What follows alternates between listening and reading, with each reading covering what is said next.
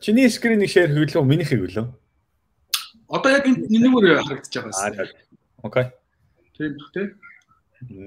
Би чи нөгөө лайв эхлэх болгон дандаа нэг жоохон фейлт стрим яа. Яа шиг боллоо. Та би Facebook дээр газ шалгаатай стрим хийж байгаа нөгөө. Аа. Яасан. Групп руу орлоо. Аа за стрим байх лайв гэсэн гарсан байна. Сайн байцгаана уу гинэ. За за. Окей. Тэгэхээр эхэлсэн гэж ойлголоо. За өнөөдөр бэлгээ маань аа энэ чинь лекц семинар хийх нь үлээ. Дөрөв дахь гэж байна. Дөрөв дахь семинар тий. Тэгэхээр өнөөдрийн сэдэв маань болохоор гүнзгий сургуулийн заагвар семинар энэ дээр convolutional neural network болон recurrent neural network зэргийг хамрах юм байна. За ингээд микрофоныг бэлгээд. Яа, бүгд нь арай минь. Өнөөдөр болохоор сая манай нод маань хэллээ. Хоёр нилээн томоохон сэдв өчтөр бас лекц маань явсан байгаа тийм. Хоёр томоохон сэдвийг манай сайн баяр маань лекц зорж тайлбарсан байгаа. За тэгээд ямар ч байсан өнөөдрийн нэг удаа угаасаа хараад бол ойлгочихгүй. Тэгэхээр та бүхэн лекцээ дахин дахин бас үзээд аа өнөөдөр бас хичээлийг харуул бас жоох үр дүнтэй байх хаа гэж бодож байна. За тэгээд өнөөдөр бол яг уу хоёр хэсэгтэй байгаа. Тэгээд эхний хэсэгтэр болохоор за ер нь нөгөө зурган дээр төлхөө ашиглагдаж байгаа нэг convolution neural network-ийн талаар. За тэрийг ер нь PyTorch дээр хэрхэн implementation хийж тэ модель ер нь одоо угсарна юм уу да бичиж явдаг талаар яриад. За хоёрдугаар хэсэг нь болохоор recurrent neural network-ийн талаар за хальт гэх юм уу цугсаан дурдаад тусна. За маргааш нөгөөдөр бол илүү яг recurrent neural network ч юм уу тийм language за модель энэ төр дээр нэлийн advanced хичээлүүдийг бол манай нод маань бас зөндөө авах бах тийм бас ороод явах хаа гэж бодож байна. За тэгээд өнөөдрийн за хэрэглэгдэгч Питер ноутбук маань за манай нөгөө зуны сургалтын GitHub дээр оруулсан байгаа. За би энэ ч харагдахгүй юм тийм. Жохон томсгоч. Энэ линкийг дахиад энэ копидод Facebook дээр тавиад өгөө. Энэ нот. За тэгээ би тавьчихсан. За тийм. Аа хоёр ноутбук байна. За тэгээ өнөөдөр хүртэл бэлтлээ. GitHub-ийн юуг харах юм бол цагийн өмнө. Одоо бас нэлээд жоох ярих бэлтгэл жоох муу хийсэн баа гэхдээ гайг хаа гэдэг одоо энэ ямар ч гэсэн хэлээ. Цугта. Цуг зүйлэл дунд нь бас бичээд яваарэ. За тэгэхээр эхний хэсэг маань болохоор энэ condition neural network хэсэг байгаа. Тэгэхээр та бүхэн ямар ч сан ороод за энэ дөрвийг Google тийм Colab дээр нэгээд үзээрэй. Бараг юу яах вэ? Саний. Би бол өөрөө энд нийцсэн байгаа. Тэгэхээр өчөө нийт маань бодоод багш байна. Ямар ч гэсэн орох юм бол энд нь коллаб дээр бас нэг нэгдэх линктэй гацуг гарч ирж байгаа болохоор шууд тэрийн дараад аа нэгээд хаа. За энэ маань гэнэ. Тэгэхээр за нэгдсэн байгаа гэж үзээд ерөнхийдөө за семинараа явъя. За тэгэхээр өчигдөр ерөнхийдөө бол за лекцэн дээр суусан хүмүүс ирсэн баг. За condition neural network маань ер нь бол зураг тийм зураг за бичлэгч юм аа За энэ тхүү дата дээр ажилладаг яг загвар байгаа. За тэгээд хамгийн анхны одоо тийм анх одоо хүмүүс танигдсан одоо юм. За энд 98 онд одоо манай сайн баярын маань яг багш Ян Ликун гэдэг. За энэ бас ч томслоо.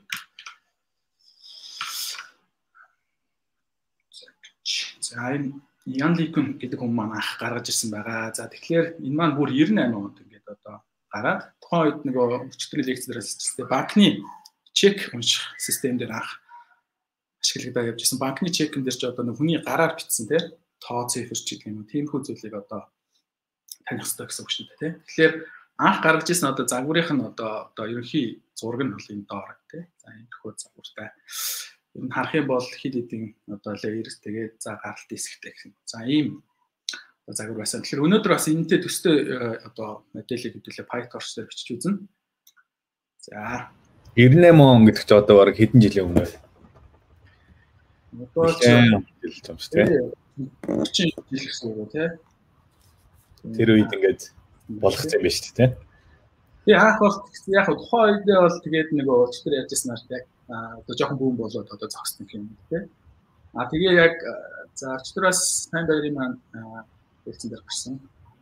За яг хизэнээс ерөнхийдөө алтартай болсон юм гээд 2002 12 онд тий. Гур 10 хэдэн жил 14 жил дараа. За энэ имиж нийтийн тэмцээн дээр зураг одоо ангилах тэмцээн дээр бол тасархай хэрэгснээр бол нэг хүмүүст гэсэн. Тэгээ миний хувьд бас яг тийм эсэн 12 онд яг их сургуульд одоо жишээ нь Японд сурч байхад бол ер нь их тэгж яригддгүү байж байгаа 14 оноос нэлээд хүчтэй яг яригддаг. Амьд learning гэсэн юм яагаад юм. За яг ерөнхийдөө бол яг хальт сонсоол ерөнхийдөө баг төгсөж исэн юм уу.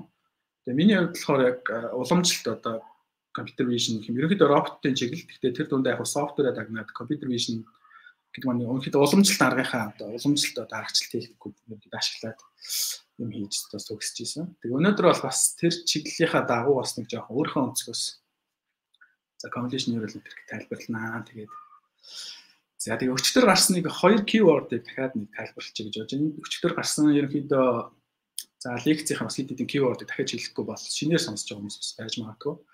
За тэгээ convolution neural network-ийн хувьд бол за өчтөр гарсан хоёр ерөнхийдөө keyword байна гэж яхаа бичсэн байна. За нэг маань болохоор за local connectivity за weight sharing гэдэг. За бидний өмнө үзчихсэн одоо multi layer perceptron ч юм уу те. За fully connected layer маань яжсэн байвал за нөгөө нейрон хоорондох энэ холбоосууд маань дандаа тус тусдаа нэг л утга болон нэг л холбоосонд ашигладаг те. За тэгэхээр одоо жишээлбэл энэ за нэг хад болох юм шиг За энэ X3-аас S3-ийн хоорондох энэ холбоос дээр бол тий зөвхөн нэг л одоо weight нэг л утга нэг л газар ашигладаг тий дуусчихсан тий. За гэтэл одоо нөгөө зурган дээр бид нар яах вэ гингут жишээ нь зураг маань 1 пиксел одоо shift ч юм уу тий хийхэд одоо манай гаралтын утга маань өөр одоо шал өөр болчихтой x3 маань x4 рүү шилжил хийчих юм бол гаралт маань шал өөр болно. Тэгэхээр ийм бас байж болохгүй байгаа. За тэгэнгүүт ерөнхийдөө convolution neural network гэдэг яаж weight sharing гэх юм. Одоо weight-ийн параметрыг одоо ширэлж ашиглах гэх юм уу те. За ийм онцлог шинжтэй байгаа. За тэгээ ингээ харах юм бол за жишээлбэл одоо энэ хараад байгаа юм болохоор ерөнхийдөө нэг weight параметр байгаа. Тэгэхээр бүх одоо input дээр одоо convolution-ны одоо нэг манай фильтрийн те параметр утга маань одоо ашиглагдаад явна гэсэн. Тэгэхээр энэ маань бүгд нэг одоо юм утга ард нь ерөнхийдөө байгаа гэж гэсэн үг. За тэгээд хоёр дахь маань болохоор өчтөр бас яригдчихсэн. За пулинг хэсэг дээр яжсэн байглаар за ерөнхийдөө нөгөө бид нар зургийн хэсэг маань нэлээ ингээд shift хийдэг ч юм одоо нөгөө үзгээр шийдсэн баха. Үзгийг ингээд дээш доош хөдлөхөд хаан ч гэсэн үзэгэл гэж зурхад тухайн зургийг одоо яалах ч юм уу те хэрэгтэй шүү дээ. Тэгэхээр тийм хүү зүйлүүд дээр одоо яах вэ гэхээр мэдээж одоо энэ weight sharing гэсэн маань оролцох гэсэн бас нөгөө талаас одоо зургийн хэсэг маань нэлийн noise ихтэй ч юм уу те байлаа гэхэд баг зэргийн тийм өөрчлөлтөнд бас хүчтэй байх хэрэгтэй. Тэгэхээр тэр хэсэгт мээр болохоор энэ pooling layer маань юм туслана. За энд бол яг би нөгөө max pooling layer гэж яатсан байна. За жишээ нь одоо дөрвийг харьцах дөрөв матриц байлаа гэхэд бид эндээс хамгийн одоо өндөр их утгыг авах гэдэг юм. Эсвэл одоо noise ихтэй дата байлаа гэвэл average те дунджийг авах гэдэг юм. Энэ хөө байдлаар бид нар бас pooling layer-ыг ашиглаа явдаг. За нэг хүн дээр жишээлх юм бол холоос одоо ямиг харна те холоос ойроос харсан ч гэсэн тухайн объект маань бол нэг л объект тий. За тэгэхээр тиймэрхүү байдлаар нэг пулинг схем одоо гол үүрэг байлаа тэгээ ойлгочих болно гэж бодож байна. За тэгээд ер нь за анх ер нь за бүтцийн гэх юм хувьд те анх ер нь түгээмэл байсан болохоор за convolution за маань яваад convolution filtering маань яваад за тэрэн дээр ерөөхдөө activation те одоо non linear гэх юм те activation хэсэг яваад тэгээ pooling яваад тэгээд ингээд давтах маягтай ер нь одоо загвараа бичиж явдаг байгаа. За тэгээд за энд нэг зураг гэдэг жишээ авсан байна тийм. За ер нь бол за ингээд нэг input-ийн зураг байлаа. Анх болохоор эхний хэсгийн одоо тий convolution хэсэг маань болохоор за input маань орж ирлээ. За дараа нь тэрэн дээр одоо энэ бүх одоо саяны явагдсан бис дараалал явагдсан ч тий. За энд орж ирлээ, activation хийлээ. За тэгээ pooling хийлээ. Дараагийн шат руу явлаа ерөнхийдөө ингээд за дээшлээд явах тусмаа а илүү одоо high dimension юм илүү нарийн одоо онцлог шинжүүдийг таних юм чадвартай болоод явж байгаа. Тэгээ энэ зурган дээр яг жишээ авах юм бол за эхний леерүүд бол тэ өчтөр бас гарч ирсэн юм зах ирмэг ч юм жижиг одоо босоо хөндлөн одоо юу гэх тэ хажуу тийшээ ч гэх юм уу. За ийм хүү зүйлсүүдийг одоо таньдаг болсон бол дээшлэх тусмаа илүү комплекс тэ объект дүрсүүдийг ихэд таньдаг болоод ингээд явж байгаа тийм. За энэ 3 дахь хэсгээр нь одоо бүр за машины дугуй хүн ч гэдэг юм. Тэгэхээр энэ бол мэдээж ингэж бол харагдахгүй зүгээр компьютерийн хувьд бол энийг ингэж ойлгох нь гэсэн жишээ. За тэгээд convolution-ы ерөнхийдөө энд жоох операцийн хэсгийг дахиад нэг жоохон зурган дээр тайлбарлахчий гэж бодож байна. Хамгийн гол хэсэг маань болохоор За тэгэхээр энд болохоор одоо жишээ дөрвийг харьцах нь дөрөв гэсэн одоо энэ матриц дээр гурыг харьцах гурав гэдэг convolution хэллээ чинь тийм. За тэгэхээр түрүүн хэлжсэн энэ хоёр гээд энэ утга маань болохоор манай бүх энэ input дээр. За энэ дээр болохоор яг бүх биш байна. А padding гэж зүйл ороод ирэл ер нь бүх хэсэг дээр. За ингээ харах юм бол за 2 гэдэг маань нэг дээр үйлчилж байна тий. А дараагийнх дээр 2 гэдэг ч юм уу. Дараагийн хэсэг дээр одоо жишээ нь маань 0 дээр гэдэг ч юм. Ингээд дундаа weight share хийгээ чи тий. За за нийт гаралтай харуул за ингээд дөрөв харьцсан дөрөв дээр гурыг харьцсан гурав одоо completion filter явах. За ингээд хоёрыг харьцсан хоёр гээд гарч ирээд за нөгөө манай bias гэдэг одоо тийм орж ирэх юм бол ерөнхийдөө ингээд completion нэг хэсэгт явагдаж байгаа үйлдэл маань за ингээд ерөнхийдөө одоо дуусч байна гэх. За тэгээ энэ дээр э, ерөнхийдөө та бүхэн анзаарч байгаа те хэдийг харьцах нь одоо хэдий матриц дээр ч юм уу те. За хэдийг харьцах хэдий одоо kernel filter гэвэл ямар хөө үр дүн гарах вэ гэдгийг бол математик тооцоолъё гэдэг ингээд гიშтгэл болгоод авчиж байна. За энэ дээр бол яг хуу одоо энэ маань болохоор за манай оруулж байгаа тий инпутын матрицын тоо гэж үзчих тий хэмжээ. Босоо хөндлөн за дөрөв харьцан төрөв байгаа болохоор энд дөрөв. За манай фильтрийн маань одоо хэмжээ болохоор 3 тий 3-ыг харьцан 3. За энэ S маань болохоор stride гэдэг байгаа. Өчтөр авсан бол нөгөө хідээр ингээд ерөөдөө фильтрүүдээ гүйлгэж явах бай тий. За энэ маань болохоор нэг нэгээр явах хоёроор явах гэдэг За одоо болохоор нэг болохоор за дөрвөөс хасдаг нь 3 тийм. Тэнгүүт нэг нэг дээр нэг нэг гэхээр за хоёрыг харьцсан 2. Яг энэ тэгштгэлийн ингээд давуу явах юм бол гэхдээ нэг асуудал гарна тийм. Ер нь манай input маань ингээд completion хийх явах явц болгоно ингээд багасаад хэмжээс нь багасаад байна тийм. За тэгэхээр ерөнхийдөө тэр үед яаж өгдөг вэ гэхээр бид нэр за ингээд зах дээр нь хоосон дутаг юм 0 гэдэг үргэлжтэй. За юм бол одоо 5-ыг харьцах нь 5 гэдэг одоо фильтр авчлаа тий. Тэгвэл бид нэр 5-ыг харьцах 5 дээр 3-ыг явуулангууд яах вэ гэхээр яг өмнөх одоо одоо юу юм бэ? 4-ыг харьцах 4-тэй адилхан хэмжээстэй одоо одоо утгыг гаргаж болно. Тэгэхээр нөгөө модель бичээд явах үед яадаг вэ гэхээр одоо ингээд угаасаа бичээд гэхээр ойлгох. Ингээд леер леер бичээд ирэнгүүт за эндээс чи хэдийг харьцах хэд гарах вэ гэдэг За одоо энэ томьёогч юм ингээ бодоод ч юм уу те түүхтэй. Тэгэхээр энэ pattern гэдгийг ашиглаа. За ер нь бол за адилхан хэмжээс completion явсан ч гэсэн адилхан одоо юу гэх юм те input-ээс output size нь яг адилхан байна гэдэг ч юм уу. За max pooling хийвэл тэр маань хоёр дахин багасна гэхээр ерөнхийдөө хоёр дийн зэрэгтэйгээр те output-ээ тохируулаад ишээ input-ээ тохируулаад авчих юм бол одоо арай нэг бичгээд хэлбэр ч юм уу ойлгоход хэлбэр болцдог. За тэгээд яг энэ padding гэдэг нөхөр маань орж ирэхээр яг тэгэхээр маа тэгшдэг маань арай өөр болоод За энэс бас одоо юу гэдгийг input-ийн те матрицын хэмжээнээс kernel одоо фильтрийнхаа те completion фильтрийнхаа хэмжээс хасаад за padding нь хэмжээгөө за энэ slide нь бол одоо гарч ирэх. За энийг нэг бол дөрөв гэдэг. За энийг бол нэлээд түгээмэл ер нь модель үүсгэхдээ ч гэсэн түгээмэл ингээ бичээд явдаг байгаа. За stride гэдэг энэ хэсгийг одоо жоохон ярьчих. За өчтөр бас ярьсан байгаа тийм. Тэгэхээр одоо яг бидний Аа энэ фильтр маань болохоор яг бид нар нэг нэгээр shift хийж явж байна тийм өмнөх хэсгээр болохоор яг нэг нэгээр. А гэтээ бид нар нэг нэг пиксел ч юм уу алгасаад ч юм уу тийм нэг сел алгасаад ч юм уу а фильтрээ яс явуулж болно. Ялангуяа энэ чинь нөгөө бүх хэсгээр энэ фильтрийг ядан үгдийн зураг имиж процесс ч юм хийх үед бол бүх пиксел дээр нэг нэг shift хийх биш. Дунд нь нэлээд алгасаад ч юм уу одоо системийг хурдлуулах юм тийм процессингийн спидийг хурдлуулахын тулд бид нэр фильтрээр ингээ страйд хэм гүйлэх юм бид бас тохируулж өгдөг байгаа. За тэгээд тэгээд ирэхээр энэ тэгштгэл маань одоо яг одоо бүрэн биелээд байна гэсэн. Одоо болохоор бид нар дандаа страйд маань нэг болохоор нэг гэж явчихна. Эсвэргээрээ одоо энэ маань хоёр байвал одоо тий арай өөр гарна гэсэн шүү дээ. За тэгэхээр энэ хэсгүүд маань ер нь яг одоо convolution neural network бичих заавал бүх бүх хэсэгт хэрэг болно. Тэгэхээр та бүхэн болохгүй гараараа ч юм уу бодож үзээд те тэгштэглийг бол нэг ойлгоод ч юм уу те нэг үзчихвэл бас их зүгээр бахаа гэж бодож байна. За тэгээд нөгөө convolution filter маань ер нь бол яг энэ neural networkтэй холбогдож болно гэж гарч байгаа. Ер нь бол image processing-ийн хувьд бол аль дээрээс юм бол ашиглаж ирсэн техник байгаа даа.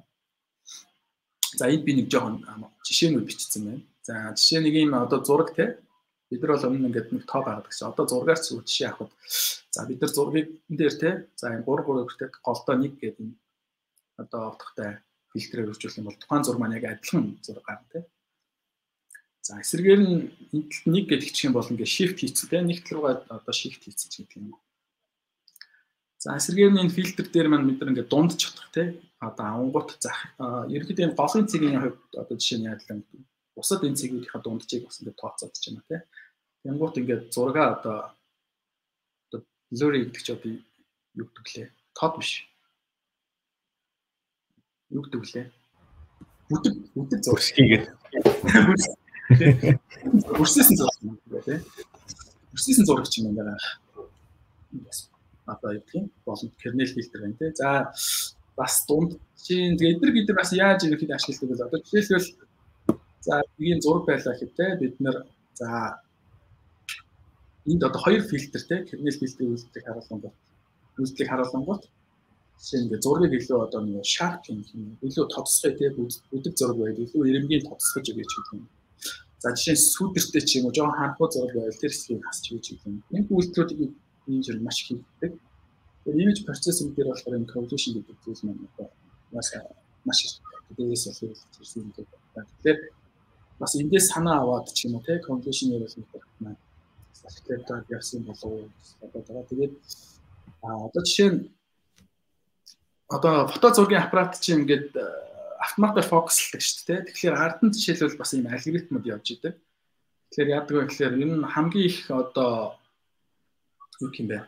Тод байх үе юм уу те фокус сайн таарсан байх үеийг бол энэ одоо энэ хөө тооцоолууд ард нь хийгдээд за хамгийн одоо боломжтой хэлбэр нь энэ байна гэхээр яг тухайн үедээ зогсонгуудаа одоо юм автофокус нь ингээд зогсоод яг тэр хэсгийн зургийг авдаг ч юм. За энэ хөө одоо үйлдэлүүд явдаг байгаа. Ер нь ингэж ойлгож болох. Photoshop дээр зургтнууд дээр их үйлдэл хийдэг шүү дээ. Blurry болгохдаг ч гэдэг юм уу, тод болгох эсвэл нөгөө нэг өнгөнүүд өөрчлөх гэх. Тэр бол одоо чи ерөнхийдөө ингээд нэг матрикс гүйлгээл гүйлгсэн л юм явж байгаа гэж ойлгож болох юм шүү дээ.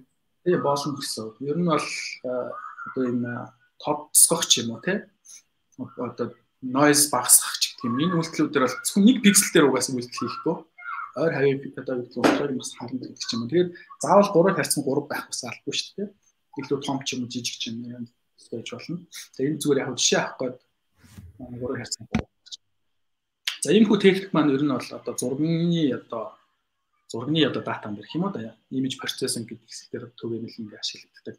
За тэгээд яг хуучин одоо нэг одоо neural network гахаас хүмүүс өөрсдөө энийг одоо тий ямар ямар фильтр байх ингээд одоо setup юм юм уу зохион гэх юм уу тий ийм байвал сайн ажиллаж юм уу ажиллаж юм гэдэг юм янз янз setup хийж өөрсдөө энэ одоо фичер гаргаж ирэх гэж хичээдэг байсан гар аргаар тий яг хөө зарим нь болохоор бас энэ уламжлалтайгаар холбоотойгоор одоо жишээ нь бас энэ kernel гарч ирсэн байна. Тэгэхээр зургийг чинь ингээд э, бодох юм бол за ингээд бид нар харах 2D яваач гэсэн 3D болгоо л тий. Тэгээ зураг чинь ер нь нэг 0-оос одоо нэг пикселээр явуулна. 0-оос 255 хавар баг шүү дээ. Тэгэхээр энийг зургийг чинь бид нар ингээд 3D гэдэг одоо хавтгаатай байгуулах юм бол энэ чинь нэг юм бас нэг уул муу шиг чинь нэг хавтгаатай тий хонхор гүйдгэртэй ч юм уу. Энэ 3D хэмжээний мэдээлэл байгаа шүү дээ. Тэгэнгүүт жишээлбэл тэрэн дээр бид нар градиент бодож болно тий. Хаашаага уруу бай гэдэг чинь тий. Яг тэрнтэй төстөгөөр одоо жишээ нь гарч исэн одоо фильтрүүд байгаа. За энэ дээр яг гоо нэлээд одоо оо юу юм бэ? Төлөөлөл бас нэг фильтрийг танилцуулъя гэж бодож байна. Энэ маань болохоор Sobel гэдэг энэ фильтр байгаа. Тэгээ харах юм бол яг энэ за энэ уламжлалаас гарч ирсэн тийм. А зурган дээр бид нар яаж уламжлах вэ гэх юм бол ер нь бол бид нар тийм одоо нэг голын пикслээс хойно өмнөх гэдэг ч юм уу тийм хоёр утгыг хасаад хуваах гэдэг чинь юу хөө байдлаар бид нар уламжлал маягийн тооцоо градиентийг тооцож болно. За яг эндээс санаа аваад гарч ирсэн юу байгаа. За би жишээ үзүүлэх гээд Аа яцсан байгаа би одоохон зя. За хэдүүлээ ямар ч байсан нэг фильтр ажилуулад үзье гэж бодож байна. Тэгээд бүгдийг одоо 0-аас нэмчихэд хахаар бас цаг явах. Би бол зарим хэсгийг copy dot явчих гэж бодож байна. За энд одоо жишээ нь байгаа фильтр маань болохоор x бол y тэмдэглэхийн хувьд за түрүүн gradient тооцсон гэдэг gradient хаана их байх вэ гэхээр зургийн хувьд ирмэг те ирмэгийн юм огцом ч юм өөрчлөлттэй пикселээр мэдээлэлтэй газар одоо хамгийн их gradient ихтэй ч юм те байх те. За тэгэхээр хэдүүлээ энд нэг цаан туршилт хийчихье. За энэ дээр би уруу биччихв. За энэ төдөө гэдэг хэсгүүдийн доор би ерөнхийдөө а юу яхаар үлдээсэн байна. Хүмүүсийг код нэг ямар ч гараар бас бичээд зүгээр нэг copy paste хийчихээр юм үлдэхгүй байх гэж одоо. За тэгэхээр энэ кодыг ямар ч нэг ажилуулад үзье. За юу юм? Image gray. Бас нэг тийм. За яг хөө компьютер вижн дээр бид нэр аа OpenCV гэдэг баг хүн болгоно мэддэг баг. Компьютер юу гэдгийг Open компьютер вижн гэдэг товчлол юм да. Тэгээд энэ сан бид нар нэлээд ашиглаж яддаг байгаа. Тэгээд шүү сайн. Тэгэхээр эхний library нь юу юм бэ? Sky Image гэсэн. За энэ болохоор Python-аас юу байгаа вэ? Scikit learn-тэй холбоотой нөгөө зургийн датан дээр бид ашиглаж байгаа сан байгаа. За эндээс би зүгээр ашиглах гээд яасан бэ гэхээр OpenCV дээр болохоор нөгөө URL-ээс одоо зургийг нөгөө шууд татаад ажиллах интерфейс юм байхгүй. Тэгэхээр энэгээр би зүгээр датагаа татаж авчирчаад OpenCV-ийн одоо хэсэг рүү оруулж байгаа. Тэгэхээр энэ код зөвч byte хэлбэрээр орж ирээд byte OpenCV-д өгч байгаа. Byte-аас би зураа тий. Би энэ яашлуул чинь юм. Чирээ би юм чинь. За үрдэн юм чинь. Ажлаа. За тэгэхээр За энэ маань үндсэн зураг байна тий. Тэгээ саяны одоо X тэнхлийнхэн дагуу энэ нэг sorry filter ашигласан бол манай үр дүн зам юм. За эсрэгээр Y юм. Ингээ харах юм бол нэг нь ийм хөвтэй чиглэлийн ирмэг тий. Нөгөөх нь болохоор босоо чиглэлийн ирмэгийг ингээ сайн олж иж тий. Тэгэхээр бас өчигдөр яригдчихсэн бид нар янз янзын фильтрийг ингээ зурган дээр бүжиглэх юм бол үр дүн маань хэмжээтэй гарч ирдэг. Тэгэхээр энийг та бүхэн ямар ч байсан бичээд үзээрэй. А юу энэ хэсгийн жоохон илүү ячтай. Үндсэн юу нь бол за байтаас те оруулж ирэнгүүтээ бид нар яг уу зураг маань RGB-гээ 3 чанартай байгаа. Гэхдээ энэ дээр болохоор зөвхөн gray гэдэг одоо саарл зураг юм даа. Нэг чанартай зураг хар хар цагаан зураг юм да. Тэ. Нэг чанартай болгоод за тэрэн дээр за энэ одоо фильтрийг ашиглаж байгаа юм. За хонь нь болохоор OpenCV дээр угаас бичигдсэн байдаг.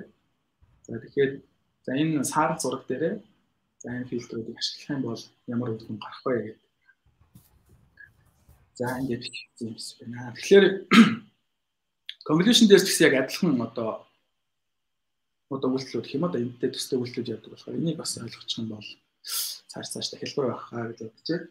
За тэгээд аа энд бас нэг юу яа гэж бодлаа. Амгагийн маск дээр болохоор нөгөө computational graph гэж гарсан шүү дээ. Тэгээ энд би нэг аа бас нэг анх ерөөсөө сайн ойлгохгүй байсан эсгүүдээ би өөрөө жоохоо илүү дэлгэрүүлээд гэх юм уу бичсэн байгаа. Тэгээд computational graph гэдэг хэсгийг би ч юм уу chain rule хэсгийг ер нь ингээд за ингээд одоо юу гэх юм те forward хэлээ backward хэлээ яг яагаад байгаа нь ойлгохгүй юм шиг байсан болохоор энэ хүмүүс бас тэрс их жоохон ойлгомжгүй байж магадгүй. Ялангуяа ингээд олон layer болохоор ч юм яах юм бэ гэдэг ч юм уу те.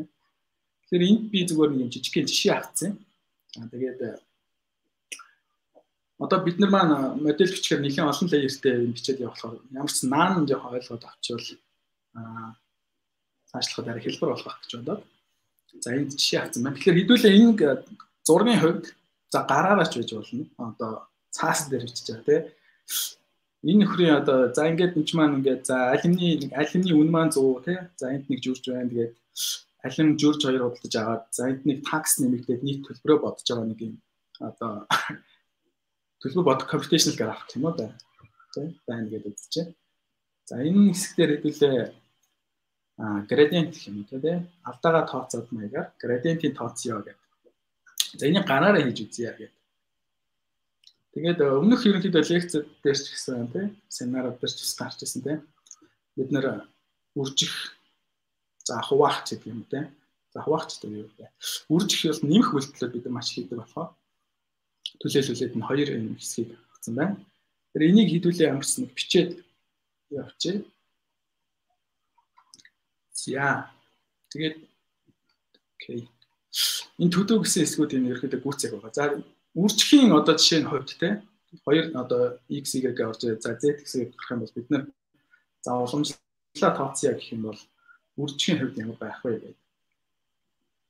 За forward хэсэг бол ер нь бол бид нар тодорхой. Яг вэ тэгэхээр x y орж ирлээ үржүүллээ те. За тэгээд хариу маань гарлаа. За тэр маань out болчих те. За forward backward хэсэг дээр яах вэ гэдэг За нэг бичиж.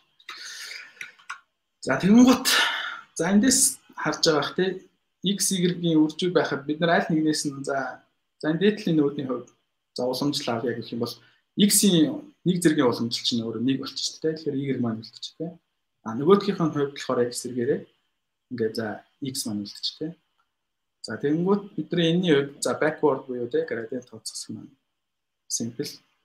Ингээд за орж ирсэн утгыг нөгөө утгаар нь гэх юм да тийм x y-г өөрчөрөө.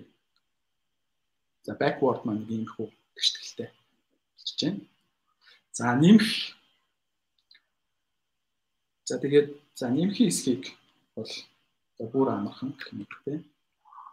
За бид нар нэмлээ гаргалаа. За нэмэхтэр бол бүр одоо өөрөөс нь авахар ч одоо уламжлал маань юу байх вэ гэх тийм нэг нэг шүү дээ тий x дээр нэмэх нэгээс x-ээр уламжлаа яллаа гэхэд бол за x-ийн хувьд болохоор нэг үлдэн тий за y-гээр бас нэг үлдэн тэгэхээр орж ирснийг нэг нэгээр баг өөр өөр буцаад байна за ийм хоёр бид нар layer-ыг хийчлээ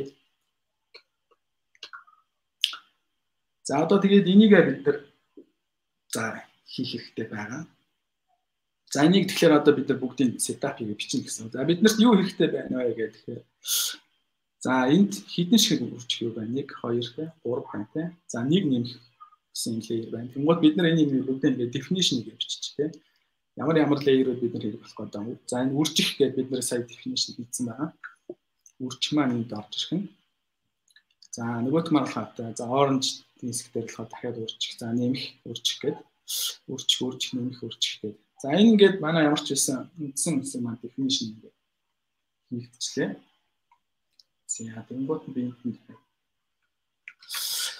За forward хэсгийг уулна. За хүмүүсээр бичүүлээд цаг ямар байгаа ч гэсэн бас цаг маань би бас нэг удаан за жоо хурдлахыг бодъё. Тэгэхээр ямар ч гэсэн та бүх өөрсдөө яг энэ хэсгийг нэг бичээд зэрэг би энд ямар ч нэг ажиллуулаад хэрэгчээ.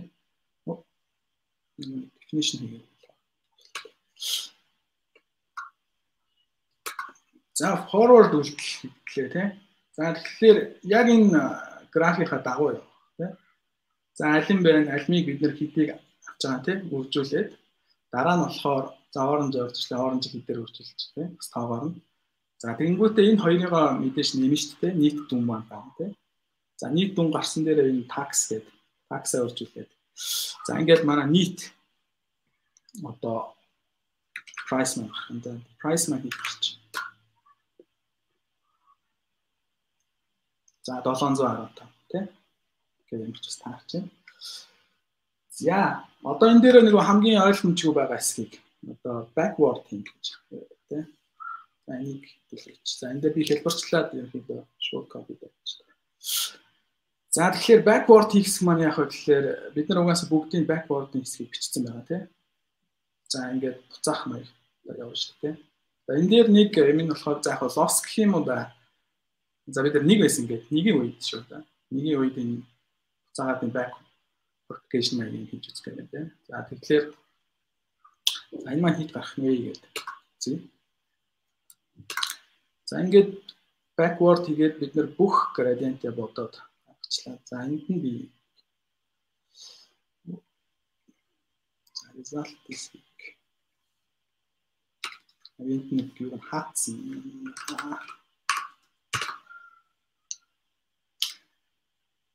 За тэгшлээ харах юм бол те backward хийлээ гарч ирсэн үднээс дахиж авлаа гэд. За энийг бол та яг энэ зураг харж байгаа энэ тэгшлийн яг хийгээд үзээрэй.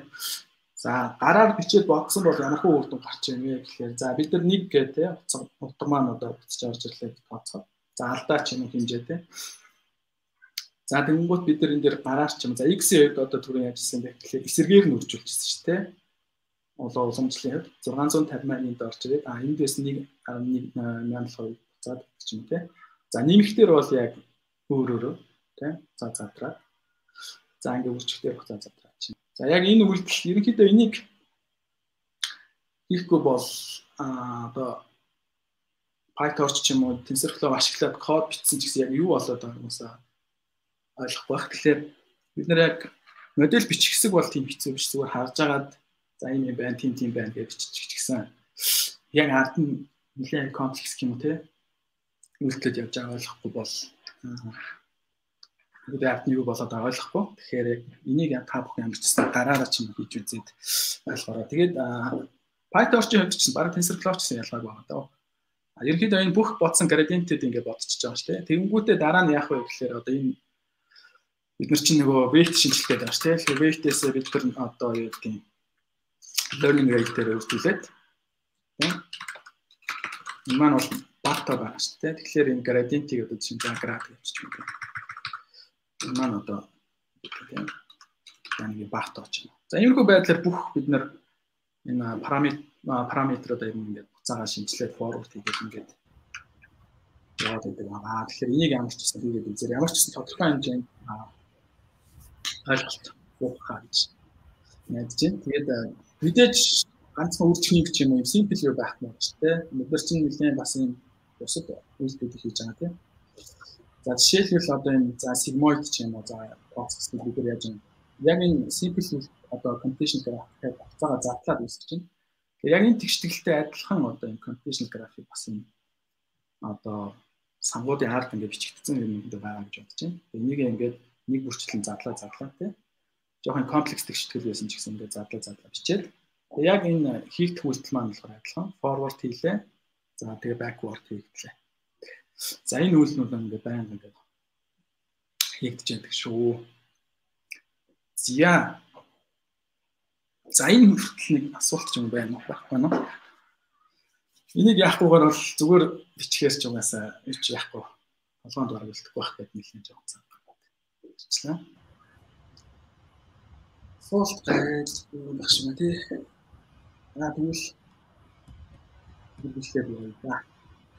Backward хийхдээ яагаад D price нь нэгээс эхэлчихв гэсэн нэг юм асууж байна. Би асуултыг хэлсэн байна. Үнэхээр яг уус нь бол бидний хувьд бол лос байгаа шүү дээ тий. Үдсэн таргет яхад бид нар хэрд өгч юм бэ тий энэ хувьд болохоор биднэрт ямар нэг тийм loss function байх болохоор зүгээр нэг гэдэг гэж байна. Өөрөө ойлгохдоо бол нэг формултыг гарчихад үр дүн маань нэгийн нэгийн зөвлөлт байсан тийм л loss function маань үүднэ.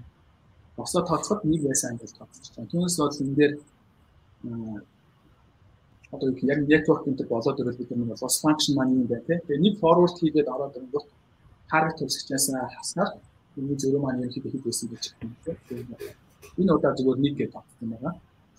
А тэгээд бас энд нэг хэл хэм нь юу байгаа хаа. Одоо ингээ харах юм бол бидний яг нэг гоё тоноор бичсэн байна. Тэгэхдээ ер нь network болоод байна. Анда одоо ер нь small гэх юм уу да тий. Float за бас нэгээс нэг ч юм уу 0-ээс нэг ч гэдэг юм. Заримдаа маш жижиг тоон бичсэн байна тий. Тэгэхээр заримдаа одоо юу гэх юм буцаад одоо энэ back propagation ч юм уу backward хийгээ явахад тоонууд мань болсон багасдах ч юм уу тий. Эннээсээ болоод одоо gradient management гэдэг юм. Манай gradient багасаад сурталтай гэж хэлдэг байх чинь бас гарч ирдэг. Тэгэхээр энийг бас баг тоогоор та бүхэн солиод өөртөө ингээд хийгээ. Зэрэг тэгээд аа энэ систем хийсэн юм.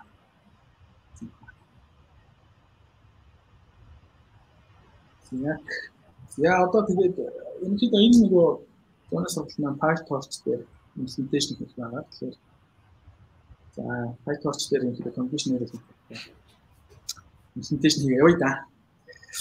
За тэгээд бичих За энд нэг English заник байгаа нэг яриач лөө. За тэгээд нөгөө ноутбук дээр болохоор ихэнх хэсэг бичсэн байгаа. Тэгэхээр та хэд ямар ч байсан ороод ажиллуулаад хөдөө хэсгүүд юм гэдэг өөрөөсөө аа чек болохыг явах бодлоо.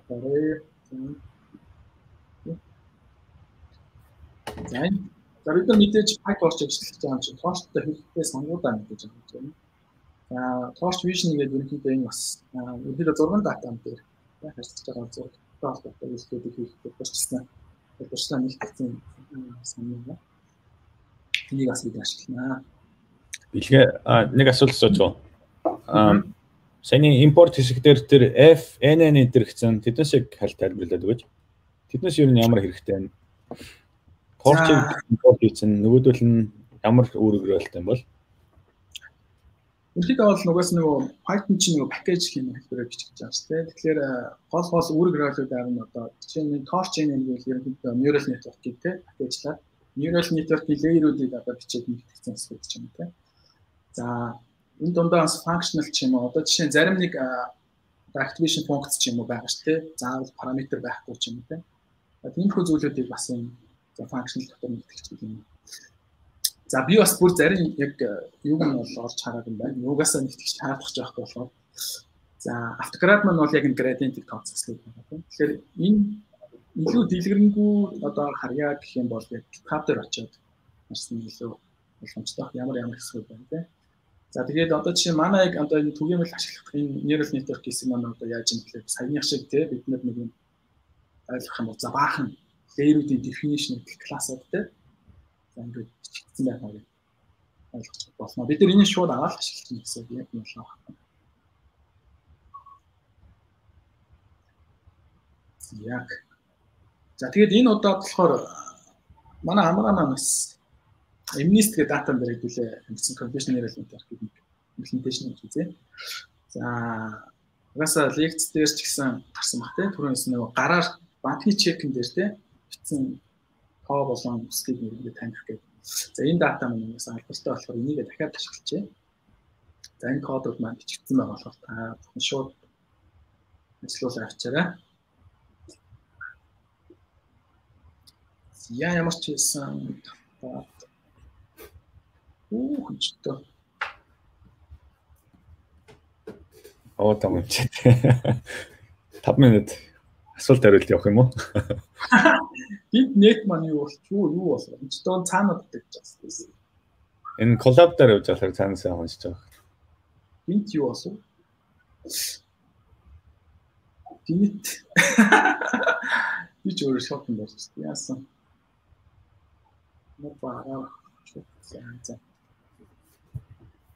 За ямар ч син кодыг ажиллуулад явал ийм Unist гэдэг фолдер үсээд энэ дотор ерөөхдөө тест тренингийн хоёр хэсэгт хуваагдаад дата нь хуулах хэрэгтэй юм байна гэсэн чинь юу болсон ч Одоо яг гүйлгэж байгаа ч юм бол train loader, test loader гэсэн хоёр юмыг ямарч байсан. Data loader-ос PyTorch-ийн data loader хэлээдээс татж байгаа юм байна. Um test data нь болохоор бас чи яг specifically define хийсэн юм байна те. Test data нь болохоор Imnist-ийн data байна. Imnist гэсэн дээрхт орд байна. А training data биш шүү. Download хийн. А тэгээд энэ руу хөрвүүлсэн line of шиг байна те. А train loader, test loader дээр болохоор тэр num workers гэдэг. Тэр нь болохоор хідэн CPU тухайн үед яг ачааллуулах бай гэдэг. Зурга process хийж байгаа. А shuffle хийж байгаа нь болохоор нэг дарааллаа бас яаж байгаа шиг байгаа юм те. Ерөнхийдөө шафлыг бас нэлээд нар чинь одоо нөгөө бач бачаар гэх юм уу те. Миний бач гэх юм уу. Бач бачаар багсагцаа дата авах үед бол энэ шафл хийгээд одоо дарааллын салин гэсэн үг те. Тэгээд яг нэгэн тийм юм байна. Шафл хийж байгаа нь бодвол нөгөө нэг бас таскаас хамаарх бах те. Би жишээ нь одоо видео зураг нь видео дээр ажиллаж байгаа гэж. Видео ч юм бол зөвхөн хідэн зургуудын ингээд юунууд шүү дээ, тий, үргэлжилсэн юмнууд. Аа, тийм тохиолдолд би жишээ шафл хийж болохгүй. Яг гэвэл миний видеоны маань утга нь алдагдчихна гэдэг ч юм уу, тий. Аа, манай энэ тохиолдол бол хамаагүй. Аа, яг хэсэг таних дээр бол жишээ.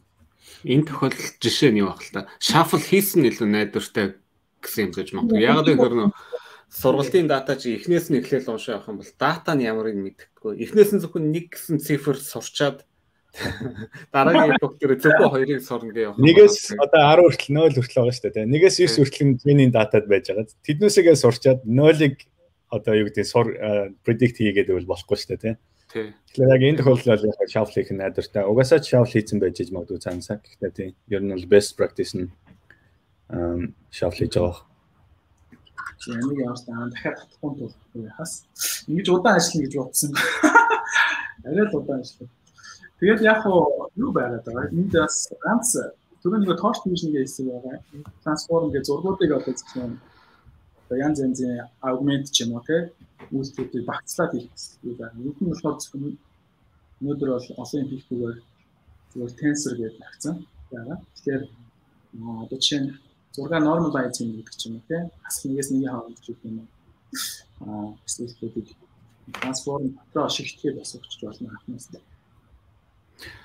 Хэдүүлээ хүлээж авах нэг юм асуучих. Тэг тэг. Өчигдөр э, самбагийн яран дээр ч гэсэн гарч ирсэн сая хин бэлгээж гэсэн нэлийн дэлгэрэнгүй тайлбарлах шиг боллоо. Translation invariance гэдэг байгаа шүү дээ. Одоо жишээ нь нэг объект зурагны int ч байсан, int ч байсан, int ч байсан. Одоо чинь энэ бол үзэг юм чинь ингээл хаанч байсан үзэг гэж танихыг одоо жишээ нь ялгаагүй л үзэг гэж танихыг э, одоо translation invariance гэж хэлээд байгаа шүү дээ. Тэрийг одоо чинь max pool-ийг ашиглаж хийж байгаа гэдээсэн шүү дээ А тэр бол гэхдээ аль аль нь дээр байна.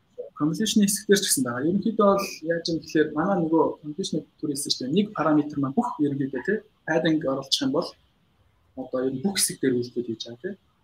Тэгэхээр ямар ч гэсэн гарч ирж байгаа одоо үр дүнгийн хувьд бол за би зам биш. ID байна тий. Л байна л та бид нар бүх нэг утгыг wheelchair гэдэг юм уу те одоо бүх хэсгээр ашиглаж байгаа байхгүй. Тэгэхээр энд байгаа утга маань болохоор x 1-ээс x5 те бүх утган дээр энэ condition юм болохоор activate хийж болно. Зарим одоо жишээ нь өчигдрийн ярьсан жишээн дээр бол ингээд олон цонхтой байшин байдаг те. Тэрэн дээр ингээд за condition filter бол яг нэг цонхон дээр activate хийж ивэл за бүх тусмаа яг гэхээр аа тэр цонхнуудтай хэсэг дээр activate хийгээд байна гэсэн. За За зургийн хувьд болохоор юу байгаад байгаа. Яг холоос харахаас нэг хэсэг нь max pooling гэх юм уу, average pooling болохоор noise багасгах. Тэ noise-наас болоод зураг маань яаж болчих ч гэдэг юм те. Баг бас нэг талаас баг хэмжээний эргүүлсэн ч юм уу те. Байлаа гэхэд бол ингээд маань хамгийн чухал хэсгийг нь аваад байгаа гэж болохоор тэр баг одоо хэмжээний мэдээлэл өгдөг нь одоо хайн гэсэн үг шүү дээ. Тэгээд ирэхээр яг энэ одоо small transformation гэсэн хэсгээр хүчтэй байна А гэхдээ нэг ийм асуудал байгаа. Одоо жишээ нь бид нар чинь ингээл яг за зураг өгөөл за нэг тоон дээр ч юм уу те ингээд өгж жагаад зурга 90 градус ч юм эргүүлчих те.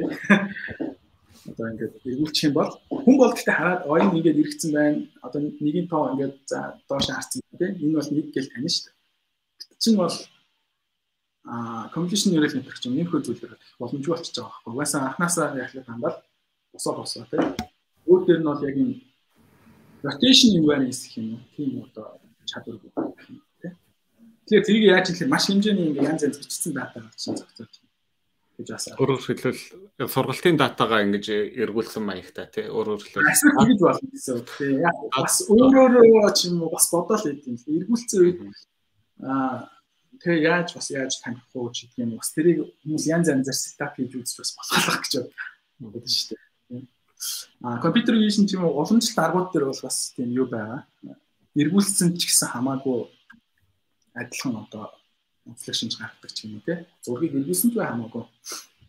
Тиймгүй техник бай. Тиймгүй техникүүдийг бас нэгтгэхэд явал а зургийг эргүүлсэн байсан ч гэсэн ялгаж бас болох бах. Тэгэхээр яах вэ гэхээр үндсэн зурмаанд байсан ч гэсэн зургийг эргүүлсэн ч гэсэн ялгаагүй одоо фишер гаргадаг. Тэр нэг хэсэг орчих юм бол тэрэн дээрээ одоо дахиад хийх болсон юм шиг тийм.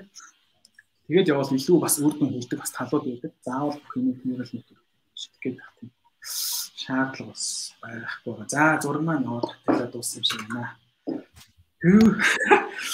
За тэгэхээр зургийн маань хувьд бол бас амгаа маань хэрэгтэй. А 60 мянган зураг байгаа. Тэгээд 28-ыг харьцан 28 хэмжээтэй за энэ зургууд байгаа. За энэ код гэж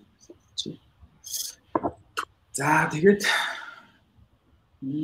за трейн датаны хувьд бол 60 мянга. За тестийн датаны хувьд болохоор 100000 зураг. Тэгээд энд байхаар за дундны 2000 зургаар үнэлэхэд 2000-ын зураг саналгаад авсан гэсэн байна. За ингээ ямар ч гэсэн манай датаны хэсэг маань нь бол ингээ бэлэн болчихлоо гэж. Чи. За одоо яг тэгэхээр за PyTorch implementation зэрэг орё. Тэгэнгүүт за яадаг вэ гэхээр бид нэр ингээд за neural network бичих чинь юм яг ингээд нэг үндсэн программын бичлэгтэй жоохон өөр гэх юм одоо миний хувьд бол ингээд reference те хажуудны reference ч юм уу байгаад API-д орж харж иж ч юм уу бичихгүй бол ер нь ингээд шууд одоо тий одоо нэг олон жил болоод олон жил бичвэл бас өөр баг. Тэгээд баян ингээд нэг модель загвар бичээд нэг ажлын шаардлага чинь тэгээд бичээд байдаг болохоор одоо яг PyTorch өөрөх нь одоо documentation site байна тий. Тэгэхээр тийшээ нэг ороод за энэ хэсэг маань одоо юу юу байна. Одоо input output юу юм бэ харж иж юм бичдэг тий. За энд болохоор би яг хоо compilation хэсэг байна. Тэгэхээр за за бид нар хоёр хэмжээст мэдээлэл явуулж ажиллаж байгаа тийм. Тэгэхээр за хоёр compilation хоёр тийгээ. За энийг бид нар энийг ашиглаж байгаа тийм. Тэгэхээр шаардлагатай мэдээллүүд маань юу байгаа юм бэ? За биднэрт мэдээж нөгөө зураг дээр бол одоо тийм улаан ногоон синтер гэдэг гурван channelтэй тийм. Тэгэхээр энэ channel гэдэг input-ийн channel нь хийдэг, output channel нь хийдэг. Тэгээ тэрнээ size маань болохоор нөгөө completion filter-ийн юм хэмжээс байгаа. Түрүүн бид нар те 3-ыг харьцан 3-ыг бол нэг юм авч ирсэн те. За тэгэхээр нөгөө stride гэдэг маань орж ирж байгаа хийх хэмжээтэй гүйцэх юм. За padding маань default-оор 0 гэдэг байна те. Тэгэхээр бид нар энэ болгоныг ерөөдөө за бичиж явна гэсэн. За тэгээд нэг simple одоо completion neural network-ийг бичлэг үзье. За энд болохоор би бас нэг юм хатсан байна. За энэ ихний нэг жоохон жишээг нь бас жоохон бичгээд за үзье гэж бодож байна. За төдөө дээр миний зүг өөх ямар арай л их нэ за шууд л яа да. Би ямарчсан дараа нь гүйцээж бичсэн хэсгээ оруулна. Одоо болохоор шууд боддог бас. Бэлгээд нэг асуулт асуусан байна уучлаарай. Би хэмэрч түрүүн нөгөө нэг зураг татсан хэсэг тэр яг зурга татуулж орж ирж исэн юм уу? Эсвэл бас юу юм уу? Data loader энэ гэсэн тэрэн дээр жоохон confused хэрэгэлдсэн байж магадгүй.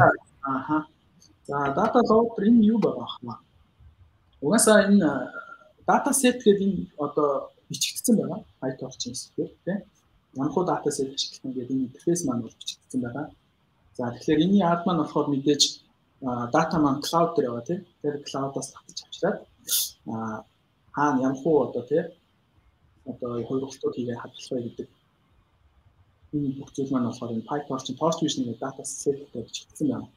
За тэнгууд энэ маань зураг татаагүй гэсэн үг үү те? Ерөнхийдөө а энэ энэ хэсэг энэ тренд хэсэг маань бол яг зураг татаж авчиж байгаа гэсэн байна. Аа. За тэнгууд бид нар нөгөө бач бач байдлаар одоо зураг оруулах шүү дээ. Тэгэхээр за бид нар тэрэн дээр болохоор энэ data loader гэж ашигладаг. Тэгэхээр data loader-ыг бол бид нар одоо энэ заавал энэ юу байх албагүй те бид нар өөрсдийн custom data байж болно те. Тэрэн дээрээ data loader ч гэдэг юм ашиглаад явах боломжтой байна. Бас өөртөө ч 0-аас нь ч бичсэн ч болно. Энэ файлаас ямар хүн хэмжээтэй яаж уншиж авах вэ гэдэг хэсгийг болохоор энд бид нэр бичиж байна гэсэн. Хоёр юм байна. Нэг нь татаж авчих, нэг нь болохоор дараа нь татаж авчирсан датанаас хэсэг хэсгээр нь тий яаж efficient тэр датагаа татаж авчирхаа гэх юм. Аа юу бас яг өөртөө хийгээд ихээр бас ойлгох. Нилийн одоо жишээ нь энэ зураг маань одоо жишээ нь яг 28-ыг харьцан 28-ыг нөгөө баг хэмжээтэй байна шүү дээ. Тэгэхээр маш хэмжээтэй ч юм уу одоо жишээ нь 100-ыг харьцах юм ч юм уу тий том зургуудыг бол бид нэр бүгдийн энэ одоо тий энэ лоудер гэх юм дата лоудер гэдэг юм ашиглахгүйгээр бол процесс хийж болно бас чадахгүй. За. За тэгэхээр энд нэг за би шууд копи чи би баг 50 минут гэж байна. Нэгээр бичээд явах гэсэн ч худлаа юм байна. Зөв шууд л ингэж явах юм. За. Тэгэхээр энд одоо жишээ нь за бид нар яг нэг simple загвар одоо ингэ definition хийсэн байна. Тэгэхээр за та бүр болохгүй бол скриншот ч юм хийгээ авчих зүгээр юм байна да тий дараа дараа ч юм бичээд тийм. За тэгэхээр бид нэр яаж вэ гэхээр за энэ бачноо нэг юм басч нэ. За ингэж. За PyTorch дээр болохоор ер нь хоёр янзаар заавал нь бас бичиж болно. За энэ би болохоор өөр нэлээд төгөөнөл ашигладаг sequence гэдэг нь одоо дараалал маягаар ингээд бичсэн байна. За нэг шиг нэс энэ дээр нь авчих. Яадаг вэ гэхээр за нэг нэгээр нь түрүүн хэлчихсэн шүү дээ. Анхнаас нь бүгдийн нэг definition хийж бичээд бас ингээс халаад бас бичиж болно. Одоо за энэ condition-ыг гэсэн маань юм байна. Хоёр маань юм байна. Боч норм гэх юм. За энэ хүн буксуудын одоо зангид чи За ингээд салбар бичиж байгаад за forward хэсэг дээр эдгээр өрнө гэх юм. Тэгээ түрүүн бид нэр анхны нөгөө нэг түрүүн нэг алим юутай жишээ өгчихсөн ч тийм. За ингэж ингэж ингэж юм. Дата маань орж ирээд ингэж ингэж юм. За энэ дээр болохоор би sequential гэдэг энийг ашигласан болохоор арай simple хэлбэрээр болохоор би бол sequential-ийг илүү ашиглаж хүмүүс тэгтээ янз янзаар бичиж болохоор тэр бол өөрийнх нь дур. За тэгээд sequential гэдэг энийг ашигласнаар энэ маань ерөнхийдөө нэг контейнер маягийн юм байна. Хэд хэд энийг зөвлөх нэг юм цус одоо блок ч юм уу те контейнер. Энийг бид дахиад автаад ашиглах юм байна. За энэ дээр ингээ харах юм бол за ер нь forward хэсэг маань за нэг completion хэсэг яваад за гарч ирсэн хэсэг болохоор бид нэг fully connected layer-ыг оруулнаа гэх. За ийм definition хийчихэж байгаа. За тэгээд энэ маань одоо нэг хамгийн анх гарч ирсэн тийм энэ энэ дээр танилцсан энэ модель хэсэг нэлээд төстэй.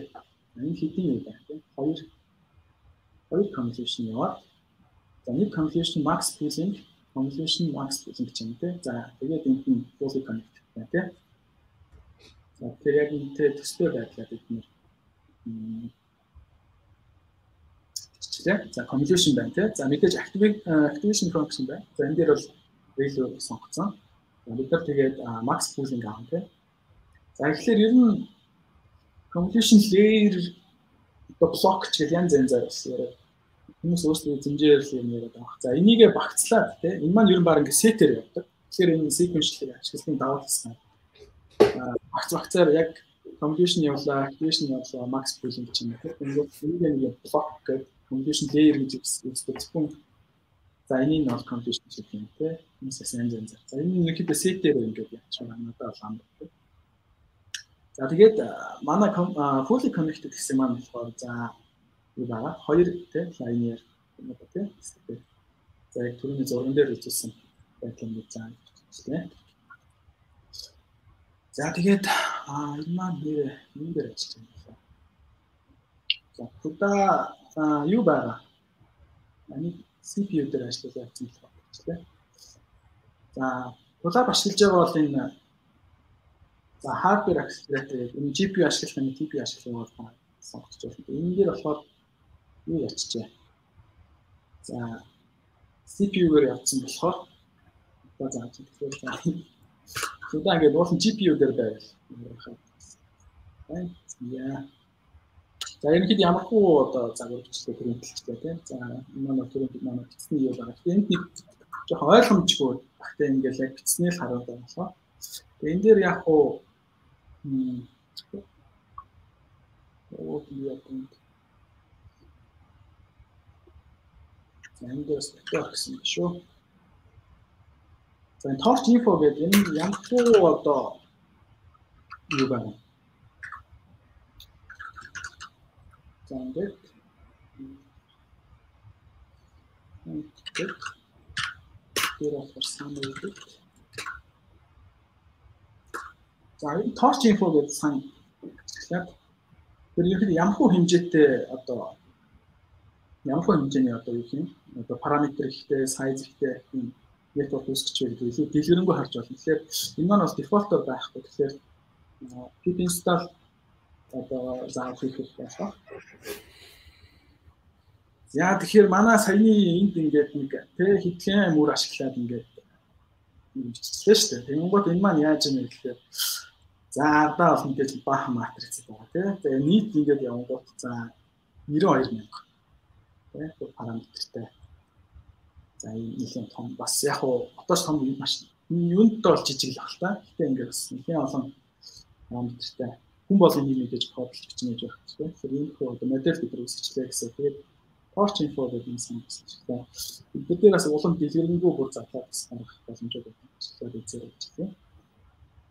За тэгээд өнгөрсөн хичээлүүд дээр явжсэн. Тэр энэ бол имзац их функц сонголттой. Тэгээд бид нар хамгаалын яс хичээлээр гарсан баг тийм кросс интерфейс болсоо ашиглаад цифр ялгах хийж үзье. За энэ хэсгийн кодууд нь зөвхөн дундах үр дүнгийг ашиглах зорилгоор бичсэн байгаа. За тэгэхээр тренинг хэсгийг яас жоох орхицсан байгаа. Тэгэхээр тренинг хийх. За шууд гоо. Яг. За энд бид нар хамгийн дээд хэсэгт нэг 2000-ыг нөгөө дунд нь хэлэхээ зүгээр санахад авсан байна. Тэрийгээ бид нар за энэ device гэдэг уул нь бол GPU дээр анханаас нь эхлээл явуулсан гэсэн л жоохон алдчихлаа. Тэгээ дахиад эхлүүлчихээр нөгөө датагаа дахиад та бүх асуудал их шиг шууд CPU дээр явчих. Аа өмнө хэлжсэн CPU дээр ачаалж явах уу, GPU дээр явах уу. Тэгэхээр уул GPU байсан бол бид нэр CPU дээр байгаа датаг тийм мэдээ GPU руу ачих хэрэгтэй. Тэгээд энэ device маань одоо болохоор XCT аа CPU дээр хийж байгаа. Тэгэхээр за энийг уул нь CPU CPU дээр байсан бол бидний ашиглах шаардлага бас яг GPU байсан бол хэрэгтэй. Тэгээд та дараа нь Түрүүний хэлснээр GPU-г нь солих болгох сольж байгаа даашлуулаад нэг үзээрэй гэж хэлсэн. За энд ер нь бол замын хичээлүүдээр гарч ирсэн. Бид нэр датагаа бач бач хэлбэрээ тий баг баг хэлнэ багцаар юм гэдэг чигээр. За бид нэр forward бас явлаа тий. За тэгээд алдаагаа тооцлоо. За тэгээд backward хийлээ. За тэгээд бүх одоо gradient-ийг тооцсныхаа дараа аа бид нэр update хийх хэрэгтэй тий. За энэ үйлчлүүд нь хийгээд. Яа. За энэ үр дүнгийн нэг гэдэг нэг алсын за одоо нэг CPU болохоор яг удаж магадгүй. За энэ дотлын хэсгийг бол нэг таах хэрэггүй. Энэ зүгээр би нөгөө хүмүүс ч ойлгомжтой байх хэрэг нэлтээр бичсэн хэсэг байна.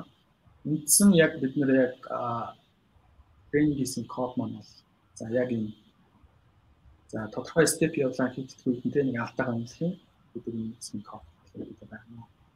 Дотлын код байсан ч болно. За энд одоо жишээ нь манай тренингийн одоо дундах процессуудын би хэлж байгаа. Энд би модель definition хийхдээ нэг юм хийсэн байна шүү. Аа юу вэ гэхлээр аа forward хэсэг дээр бид нар хамгийн сүүлийн нөгөө fully connect руу те манай одоо ч хэдийг харцах хэд орчин. Энэ векторыг бид нар гаргаж байгаа те. За тэрнийгээ бол би бас output хийхээр ингээд forward дээр бичсэн байгаа. Тэгэхээр бид нар яг одоо fully connected хэсэг маань ерөнхийдөө гарчсан фичрийг одоо их дээр векторыг classification хийх юм дээр зорилготой байдаг тийм. Тэгэхээр тэрний өмнө бас яг юу болоод байна. За энэ хэсгийг бид нар бас сайн байрын лекцээр гарчсан тийм transfer learning гэдэг. Бид нар одоо жишээ нь энд байгаа дата маань цөөхөн ч юм уу байлаа тийм. Тэнгуут бид нар өмнө нэлээд сайн сургацсан загварыг одоо шууд ашиглаад явж болно. Зөвхөн энэ fully connected хэсгийг л шинээр сунгаад энэ хэсэг маань бол өмнө нь одоо жишээ нь өөр датан дээр одоо сурцсан параметр байдаг тийм байгаа гэж үзье. Ашиглах боломжтой. Энэ хэсэг маань жоохон нэмэлтээр би одоо хийсэн байна. Яг тэгэхээр дундх үр дүнгууд байна гарсан тийм. За ингээд харах юм бол за эхэндээ бол за энэ төсөж байгаа юм маань болохоор high dimension-ыг 2 3 ч юм уу 3 дээр буулгах боломжийг олгож байгаа юм одоо PCA гэдэг ч юм уу авчлал байдаг тийм. Тэрийг нөлөөлж авчихсан. Яа ингээ степүүд явах тусмаа манай accuracy маань мэдээж баг багаар сайжирч тийм. За тэгээ ингээ харах юм бол.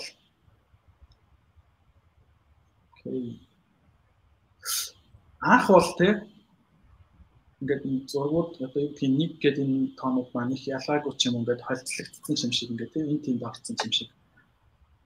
Байсан бол одоо болохоор модель маань сураад ирсэн. Яасан бэ илүү ялах боломжтой болоод нэг хоёрын ялгаа нь юу байдаг те нэг гурван ялгаа юу байдаг. Ер нь энэ цифрыг ялгаадаа ганц ганцлог шинжээний юм ингээд манай моделийн output маань одоо high dimension те ингээд ялах бид нар ялгаатай векторуудыг гаргаж ирж байна гэж. Тэгэхээр ингээд ямар ч модель маань сураад явж байна. Тэгээд юу яаж байна? та эндэр чи би хоёр эпох гэж байна нэг эпох юм. Тэгэхээр дахин дахиад хэд эдийг сургаад авсан юм маань улам за ингээд сайжраад байна. За тэгээ нийт датан дээр тий анх бол нөгөө одоо 60 мянган зураг байгаа гэсэн чинь тий тэгэхээр 60 мянган тренинг за 10 мянган болохоор тест дата гэдэг. За тэгэнгүүт за 10 мянга дээр яана гэсэн бэ? За 30 миний цөөхөн яасан болохоор тэгэхээр дахин дахин тренинг хийгээд яавал маа нэг 60 орчим бол бас бүрх байх гэж. Тренинг За энэ дээр бол амар алдаатай байна. Тэгэхээр за энийг дахиад яавал нэг CPU-н дээр бодглохоор юм хийх юм гэж байна. За тэгээд энд нэг юм харуулах гэсэн юм. За түрүүн бид нар хэлсэндээ weight ч юм уу за bias-ийн хувьд бид нар gradient тооцчихсан. Тэгэхээр аа за нэг ингэ манай нэг модель маань C нэг definition хийсэн байсан. Тэгэхээр энэ хэсгээр болохоор за манай нэгдүгээр хэсгээр convolution гэдэг хэсэг эс тээ. Өнгөт миний хувьд одоо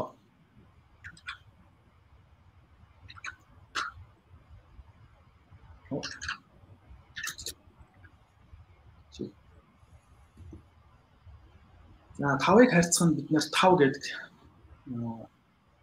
тэрнээ л анх заасан байсан. За 3-ыг харьцах 3 ч юм тэрийг бол та хүмүүсэн. Өнгөт За тухайн ингээд одоо модель нь сураад дуусны дараа хүн харах юм бол угаасаа маш мэж ингээд тоон юм тий. За тэгэхээр энэ хэд энэ хэсэгт маань юу болж исэн бэ гэхээр хамгийн анх болохоор зарим дээр яг 5-ыг харьцсан 5 гэдэг одоо тэрний фильтрийг анханаас нь заагаад өгсөн байсан гэдэг. Тэгэхээр тэнгуут маань тодорхой бас яг хуу тархалтын дагуу ингээд анханаас нь тий. За рандом маягаар фильтр үүсэж тий. За өчтөр бас асуултууд асуусан байсан баха яг яг юуг сураад байгаа юм бэ? Тэнгуут түрүү хэлсэн бид нар бүх градиентээ бодоод ингээд шинжилгээд явсны дараа энэ одоо эхний тэг convolution layer дээрх эхний одоо convolution фильтрийн утга маань бол ийм тоо гарсан. Тэгээ тэрийг яг зөв төсчүүлээд ингээд зааж м харуул яг юм бол анх байснаас өөр болоо тий. Тэгээ нэг юм ингээд харах юм бол эхний хамгийн юм чинь нэг нэгдүгээр давхар гэх юм хамгийн эхний давхар тий. Тэнгүүт хөдлөн босооч гэдэг юм те ингээд жоо хааж идэж юм малууч гэдэг юм. За иймэрхүү онцлог шинжүүдийг ингээд сурцсан байна гэсэн. За тэгээд ер нь эхний хэсэгт бас гарсан. Бид ингээд confusion filter-ыг ингээд явуулах яах вэ? За жишээ нь энд нэг сурцсан байгаа одоо те нэг фильтр маань за ингээд бүтэн зургаар оруулах яаж юм. За нэг юм маань нэг жоохон босоо хэсгээр активейт хийж те Тэгэхээр ийм хүн мэдээлэлтэй сектор activity-гээ цаашаа дамжуулна гэсэн юм. За энэ маань болохоор одоо хөндлөн. За тэгээд э, бид нэр энэ дээр яг definition хийхдээ яах чи гэвэл 16 тай. Оо. За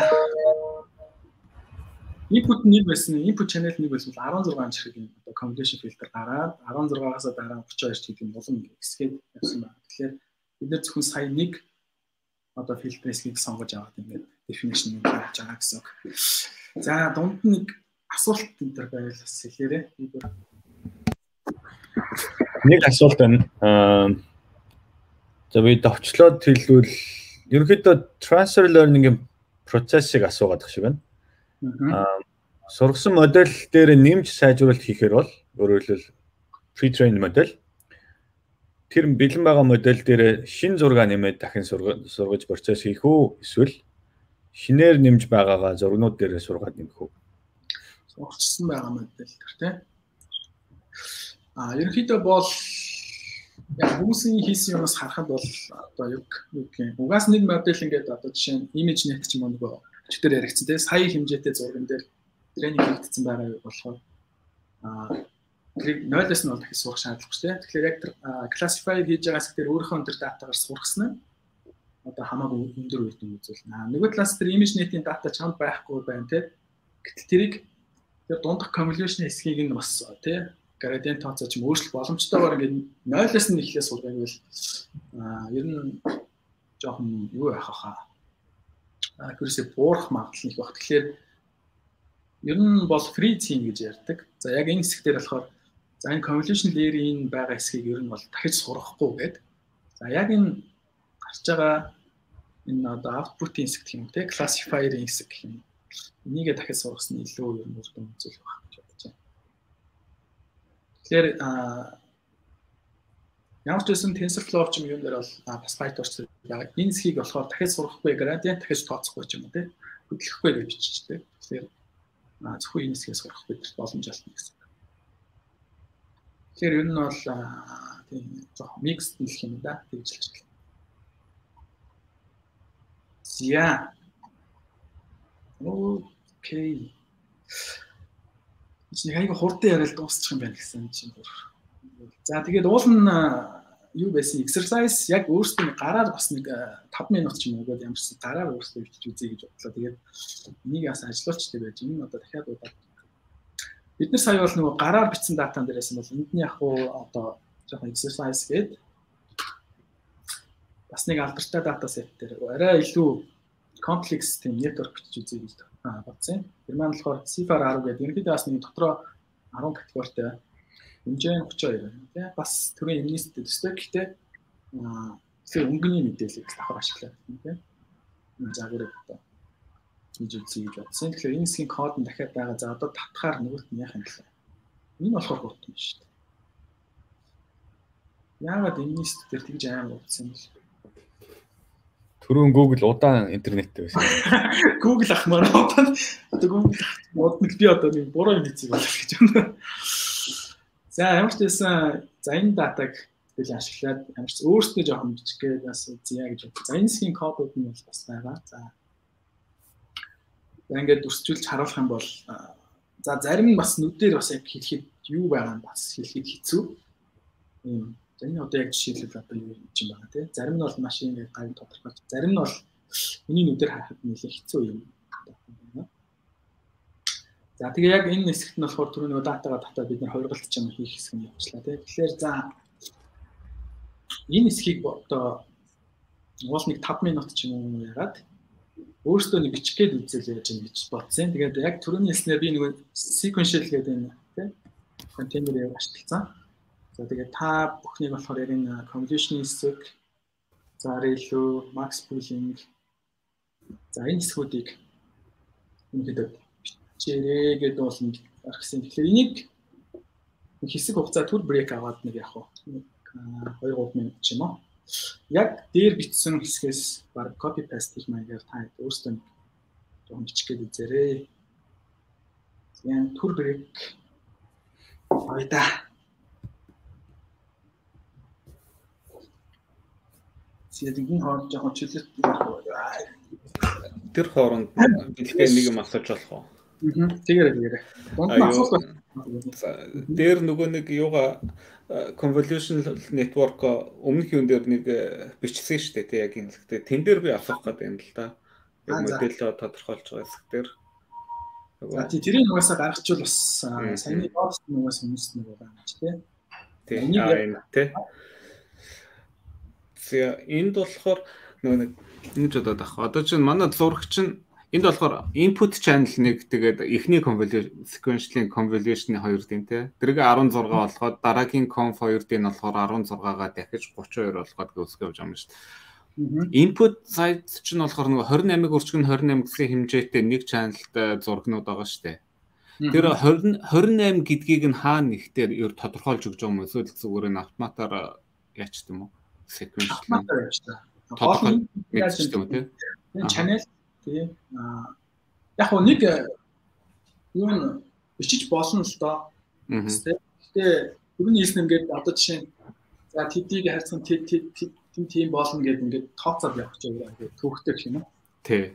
Анханасаа цаанаасаа аа бичихтэй А тэрийг нь болохоор sequential цаагаараа арталтаа зохицуулаад өгч чинь гэж ойлгож байна. Competition layers дээр өөрсдөө зохицуулаад бүх одоо тийм хэдийг харсан билийг юу нэг хөрөнгө том байсан шүү дээ. Бид нэр padding ч юм уу stride нь хэд байсан тийм. За нөгөө талаасаа за тэнгуут output нь хэд байх ингээ бүх төр тооцоог юм хэд хийж жагаад өөрсдөө энийг энэ одоо бид нар Тэгэхээр энэ fully connected layer-ийн input нь болохоор чинь 32 channelтай л гэж хэлэх гээд байгаа юм шиг байна те 7 гүрчгэн 7 хэмжээстэй ийм энэ маань болохоор яг нэг зүйл бидний хичээлүүд гарчихсан яг шугам хэсэгтэй. Тэгэхээр энэ маань бол бүх хэсэгтэй connection хийх хэрэгтэй. Энэ дээр бол яг input нь хийх хэрэгтэй, гарал нь хийх хэрэгтэй те. Аа бид нар бол яг communication хэсгээр болохоор тэр хэсгийг те. Үндсэндээ бол гол юм нь болохоор хэдийн channelтай юм гэдэг хэсэг маань энд хамгийн чухал одоо параметр. Тэгээд энд бид нар нөгөө torch info-г summary дээр яасан бэ гэхлээр нэг бүтэд ингээд өгчөөр энийг маань одоо нөгөө dynamic байдлаар бодно юм уу те. Нэг бүтэнд хэд байх. Вэ гэж гаргаад энийг бид нэр өөрсдөө өөрсдөө дэж бас болно. Тэнгууд параметр маань хэд хэд хэд байх нэг бүх юм боцол. Аа юу байгаа хаа? TensorFlow дээр чинь болохоор яг бүгдийн ер нь тийм тодорхой хэмжээ зааж ирэв явуулдаг байсан санагдаад байна. Нэг дээр одоо болохоор өөр Terrace дээр хүртэл тэгдэг байлоо. Тэг тэг санагдаад. Terrace дээр бол тэрийг зохицуулсан. TensorFlow дээр яг нэг өөрийн нэгдүгээр нэгдүгээр одоо хин version дээр гэх юм бол байна гэдэг нэлээд доод төвшин. Тэгэхээр ингээд нэг тип хийсэн бол яг нэг гараар бараг цаасан дээр давхар ингэж тоог нь бодож байгаа тийм. За тэгээд яах нэ. За тэгээд Хүмүүс маань энэ тодорхой хэмжээнд copy paste хийгээд бол гад ийсэн байх гэж мэдээ танай хаан.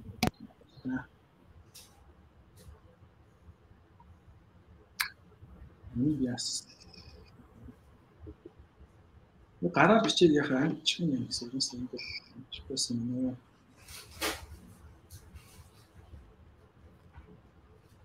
Яг Одоо нэгэн болно.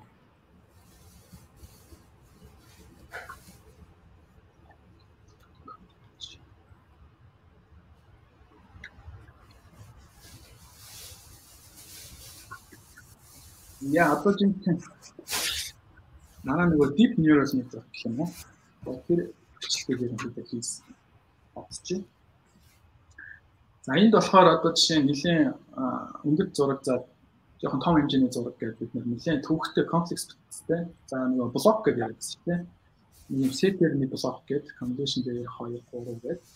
За гаралт хэсэг маань ч гэсэн нэлийн за дунд нь drop off бас оруулаад overfill гэх мэт магадлал болохоор за нэг ийм бид нар модель одоо биччихлээ гэдэг үзчихээн. За энэ маань болохоор одоо ингээ харах юм бол тий жинхэнэ нөгөө гүн гэх юм тий deep гэдэг одоо юу бас нэг хадгалаад нэлийн олон юм layer тээ. Тэгээ энэ дээр би нэг хийсэн яваа зүгээр яг хуу тайлбарлаж гэж бодож байна. Та яг ямар ч ажилуулад accuracy-г 80% зөрөөд үзээсэй гэж хүсэж байна. Энэ моделийг 80% бол аяг хурц байх гэж найдаж байна. Тэгэхээр өөртөө яг бичээд accuracy-г 80-аас дээш болох гэдэг үзээрэй. За тэгээд энд нэг хинтүүд би жоохон ярих гэж бодсон. Өмнө нь болохоор бид нэр эхний модель дээр болохоор бид нэр 5-ыг харьцсан 5 гэдэг kernel ашиглаж байсан юм уу да хэмжээтэй. За мэдээж 5-ыг харьцсан за энэ kernel гарал маань 1 гэх тийм ийм гарал гарч байгаа шүү дээ. За тэгэнгүүт яг энд бидний definition хийсэн одоо маань энэ VGG гэдэг одоо бас нэлийн алдартай энэ загваас санаа авсан байна. За энэ хэсгээр нэг орж ирсэн шинэ санаа юу байсан бэ гэхээр өчтөрөөс сайн байна гэж гарсан байгаа. За 5-ыг харьцах нь 5 гэдэг энэ үг байсан шүү дээ. Тэгвэл энэ дээр бид нэр 3-ыг харьцах нь 3 гэдэг. Одоо фильтр нэг гүйлгч тий apply хийж. За тэнгуут нэг завсрын үр дүн гарч дээ. Тэнгуут дахиад тэн дээр нь 3-ыг харьцах нь 3 гэдэг фильтр явуулчих. Тэгвэл энэ үр дүн гарна тий. Тэнгуут яг энэ дээдлэлт маань болохоор яажсан бэ гэхээр манай нөгөө competition маань болохоор 5-ыг харьцах нь 5 гэхээр 25 шиг параметртэй тий 25 параметр ашиглаад бид нар энэ үйлдэлийг хийжтэй оролтоос гарч. Гэтэл бид нэр 3-ыг харьцсан 3 гээд хоёр фильтр ашиглаад Тэгэхээр 3 нэгний 3 харьцан 3 явагдаа дахиад дараа нь 3 харьцан 3 явуулчихсан яг адилхан одоо яг яг үлтэн гэдэг юм те гарлын хэвээр адилхан одоо үүдэн хүрч болж байгаа. Тэнгүүт яг энэ саний дээр бичсэн модель бол яг энэ ашиглаж байгаа. 3-ыг харьцан 3-ыг 2 удаа ашиглая. Тэгээд яагаад ингэж юм гэхээр бас нөгөө талаасаа бид нар хоёр давхар ашиглаж болж байна тийм нөгөө гүн гэдэг. Аа нөгөө талаасаас бид нар параметрын тоог гүн байсан ч гэсэн ууруулж болж байгаа. Тэгэхээр 5-ыг харьцан 5 25 параметр биш. Аа 3-ыг харьцан 3 тэгээ 2 шиг гэхээр одоо юу гэсэн 18 шиг параметраар яг энэ 25-ыг 5-ыг харьцан 5 гэдэг тийм фильтртэй яг адилхан үр дүнг энд ингээд явуулах боломжтой. Аа за тэрийг бичсэн хэсэг энд байна. За тэгэхээр энд нь жоохон тайлбарлаад бас уншина юм тийм. За анх болохоор бид нэр 3-ыг харьцан 3 авшаа channel маань 3 тий одоо зураг баха RGB. За тэгэнгүүтээ бид нэр 32 гэдэг channel output маань байна гэдэг орчин. За kernel маань болохоор 3-ыг харьцан 3 гэх 3 гэх. За padding маань нэг юм. Яг адилхан одоо input байлаа гэхэд адилхан хэмжээний output гаргах. Хэмжээний ангид тохирч байгаа. Тэнгуут саяны яг энэ доор зурган дээр байсан үйлдэл гэдэг гэж тийм. За энд 5 биш 3-ыг харьцсан 3 нэг явуулаад дундын үр дүн дээр дахиад 3-ыг харьцсан 4. За тэгээ энэ маань яг сайн ажиллаж байгаа юм. За энэ баач нөгөө нэг болтгоор байх чинь. За conclusion байгаад за activation явуулаа тий 3-ыг харьцсан 3 явуулаа нэг activation явуулаа. Тэрний үр дүн дээр дахиад 3-ыг харьцсан 3 гэдэг энэ одоо хэлээ явуулаад За реле аваад ингээд макс пулинг хийж байгаа. Энэ маань болохоор яг түрүүний одоо яригдсан одоо юугаар бол яасан бэ гэхээр үйлдэлийн хувьд те. За ингээл энэ реле үеийн те Эхний модель дээр болохоор kernel маань 5 байсан хэсгийг яг энэ хэсэг маань үүсгэж байгааг ойлгох тийм хамгийн гол нь бид баг параметраар Тэгээд илүү гүн энэ маань илүү сайн юм ажилтгаа гэдгийг юм яг практик дээр гаргаад байна. Тэгэхээр яг энэ хэсгийн код маань ингээд нэг параметртай юм шиг комплекс юм шиг харагдаж байгаа боловч ер нь бол энээс илүү бага параметртай ард нь одоо ажиллаж байгаа гэсэн юм санагдаж байна. За ингээд юм гурван layerтай бичлсэн ингээд үзчихё. За тэгээд за энэ бид нар адилхан стриминг чи энэ мессеж GPU-с хөгжиж байна. Нэг two device болох хэрэгтэйсэн юм. Нэг нэг GPU дээр явуулах заавал энэ юу шилжүүлэх гэж байна. Энэ шиг аваад ажилласан. За энэ хэсгийг дахиад юу GPU эцний дээр юм уу? Энэ сонгох юм асар утгаар шинжтэй байна. Хөвгтэй болчлаа. Хэсгийг дахиад мэдээлэл нэг ажиллуулъя гэж бодчихъя. Definition гэсэн юм.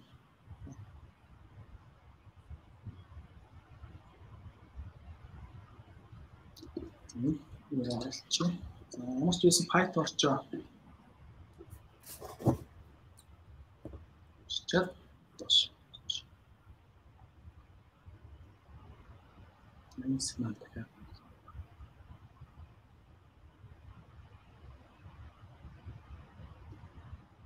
Зүг.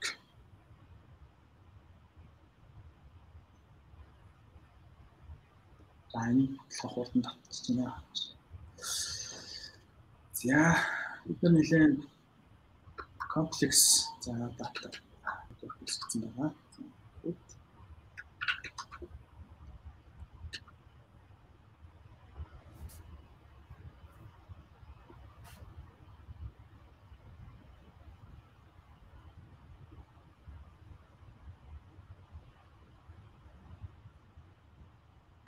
За энд нэг тренинг явж явах үед нэг PyTorch-ны өөрөө бас нэг TensorFlow ч юм уу Keras ашиглахад бол бид нэр backward mode гэх юм forward ч юм уу нөхөд бичдэг шууд ашиглах бас боломжтой үү.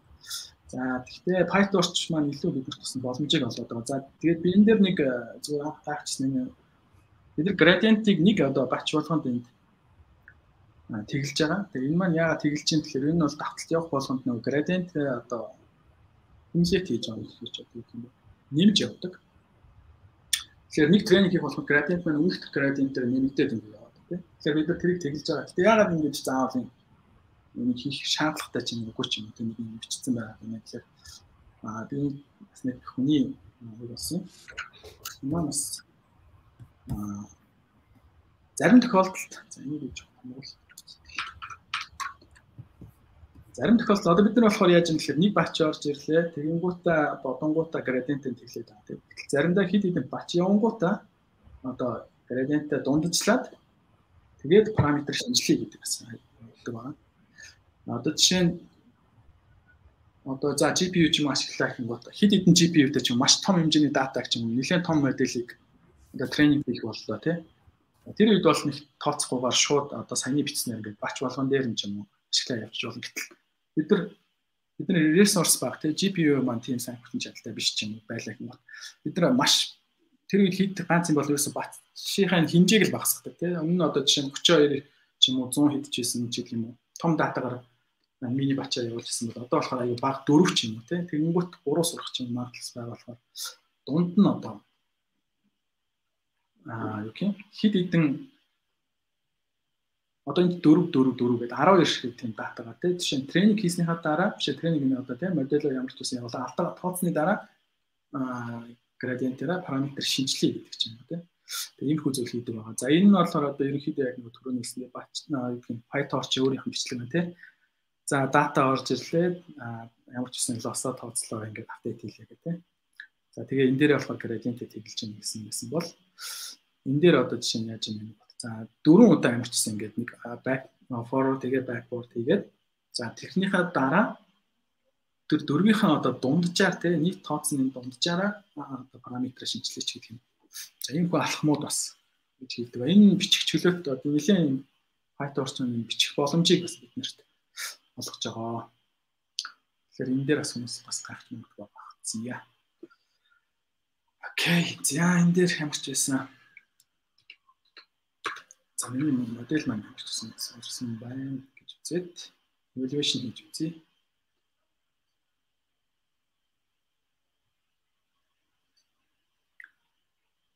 За одоо болохоор дата маань жоохон юу байгаа хаа. Хүү энэ чи яагаад би дахиад ажиллуулчлаа тий. Оо shit. Дахиад энэсгээ хоёр ажиллуулчлаа. За. За энэ дээр дүн маань байна. Аа.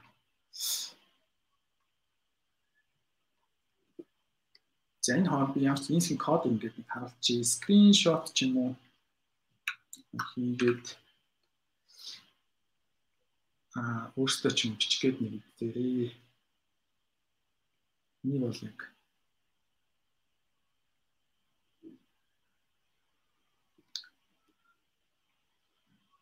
Ангуул арай бүтээ харагдах юм? Энэ хэсгийг скриншот хийж аваа дараа нь яг гараараа бичиж юм үзэл. Илгээ гялс нэг асуулт байна. Аа кода гэдэг тэр нэг кодны арт бичээдсэн. Variable-уудаар тэрний яг юу хийж байгааг тайлбарлаад өгөөч гинэ. За түрүүн бид нар нөгөө нэг датагаа device дээр авчин ч юм уу тий. Одоо CPU дээр юм уу GPU дээр тооцоол юм гэж ярьжсэн шүү дээ. Тэгэхээр ерөнхийдөө бол түрүүн бас нэг 2 гэдэг 2 device гэдэг тий. Аль device руу гэдэг тэрнтэй яг яг ялгааг одоо ялгааг үйлдэл хийж байгаа. За CUDA гэдэг маань болохоор яг GPU дээр тооцоолыг яг хүчилж байгаа гэх юм уу да тийм. Энэ датаг ямарчсан GPU. Тэгээд түрүү нөгөө GPU-гээс болохоор шууд алдаа заасан баг. Одоо болохоор бид нэр сая яасан бэ гэхээр Jupyter дээр ямарчсан ард нь GPU ашиглая гэдгсэн болохоор алдаа заахгүй ашиглаж байгаа. Тэгэхээр эхлээд дата чинь бол угаасаа өөрөө чи memory дээр тийм компьютерийн үнцэн memory дээр байна. Дараа нь GPU дээр одоо memory ачаална гэх юм уу. Тэгэхээр хоёр шиг дамжлага явж байгаа. Аа компьютер одгийн GPU ч юм уу график карт ашигласан ч юм уу худалдаж авч харж ирсэн бол тийм мэдээж за core ч гэдэг юм уу бусад үзүүлэлтүүд байгаа гэсэн а график карт ч өөрөө ч memory гэж байна тийм тэгэхээр quantum data бас өөрийн memory-д тархаж ашиглах тэр хөлтлүүд энэ CUDA гэдэг энэ функцаар шийдэгдэж байгаа болно. За яг зөвхөн тэгээ бид нар нэг Nvidia-гийн график картыг бас хэд ашиглаа яваад байгаа. Nvidia маань л яг өөрсдийн одоо энэ одоо юу юм тооцоол хийх боломжийг өөрсдийн сангаа C+ дээр авах байсан ба бүгдийн хэл болгоод тэрэн дээр нь зориулаад анхны модельийг бичгдээд маш хэмжээгээр параллел процесс хийх боломжтой болж гарч ирсэн. Тэгээд байгаа. Яг за энэ хэсэг маань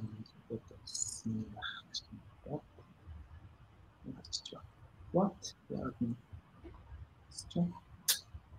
За энэ дээр яг юу байх хаа?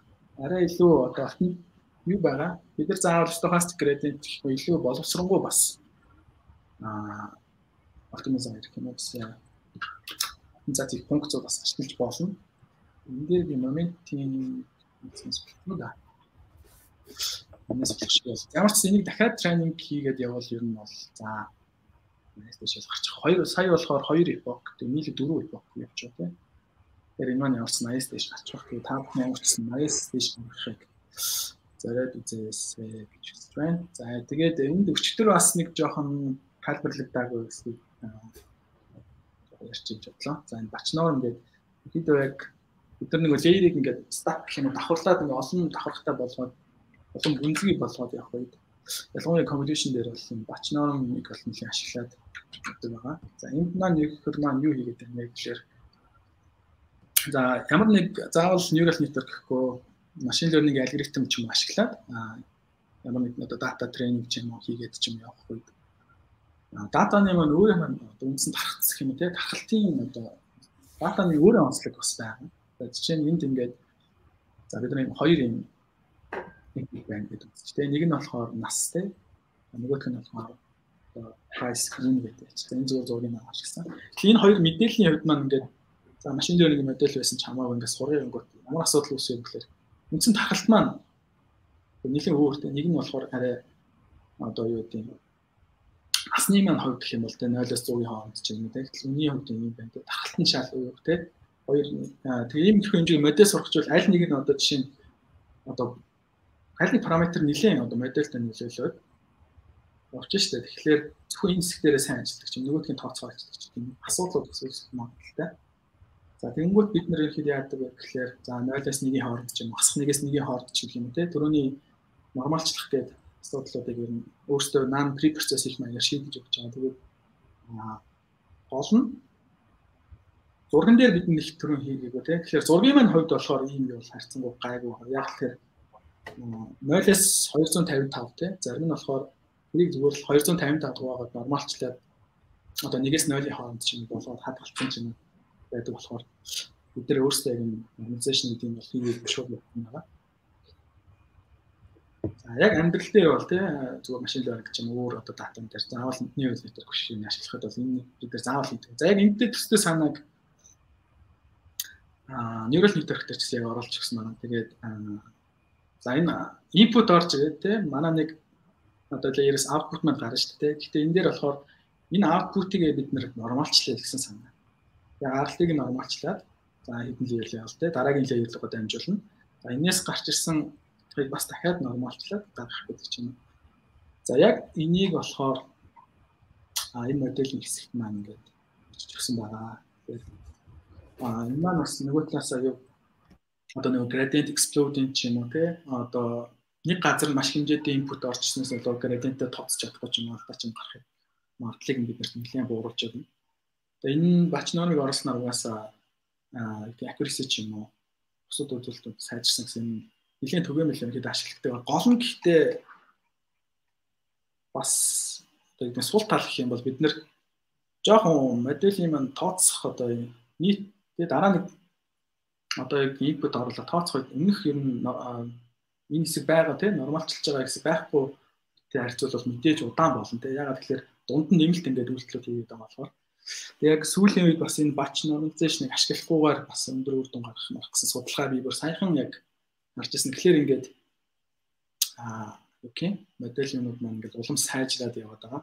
Хурдны хувьд accuracy-ийн хувьд тий маш өндөр accuracy-тэй байгаад бүр хэдэн тэрбум параметртай байгаад бид нар ашиглаж чадахгүй бол хэцүү шүү дээ. Тэгэхээр энэ хөө аль аль нэг зэрэгцээд яваад байгаа. Тэгээд энд линк оруулсан байгаа. Тэгэхээр ямар ч байсан өчтөр нэг лекцэн дээрс гарааг болохоор энэ хэсгийг та бүхэн сонгоод үзэл бас ороод нэг хараад үзээрэй. За яаж одоо имплементашн хийх юм те. Тэнгүүд ингээ харахаар одоо яг өмнө нь болохоор бид нар шууд энэ нэг лэрээс те оролт орж ирлээ гаралтыг дараалах шууд амжилтсан дунд нь ингээд энэ процессыг хийгээд тэгэхээр жоохон хурдмаа жоохон тасарч байгаа гэсэн санаа байна.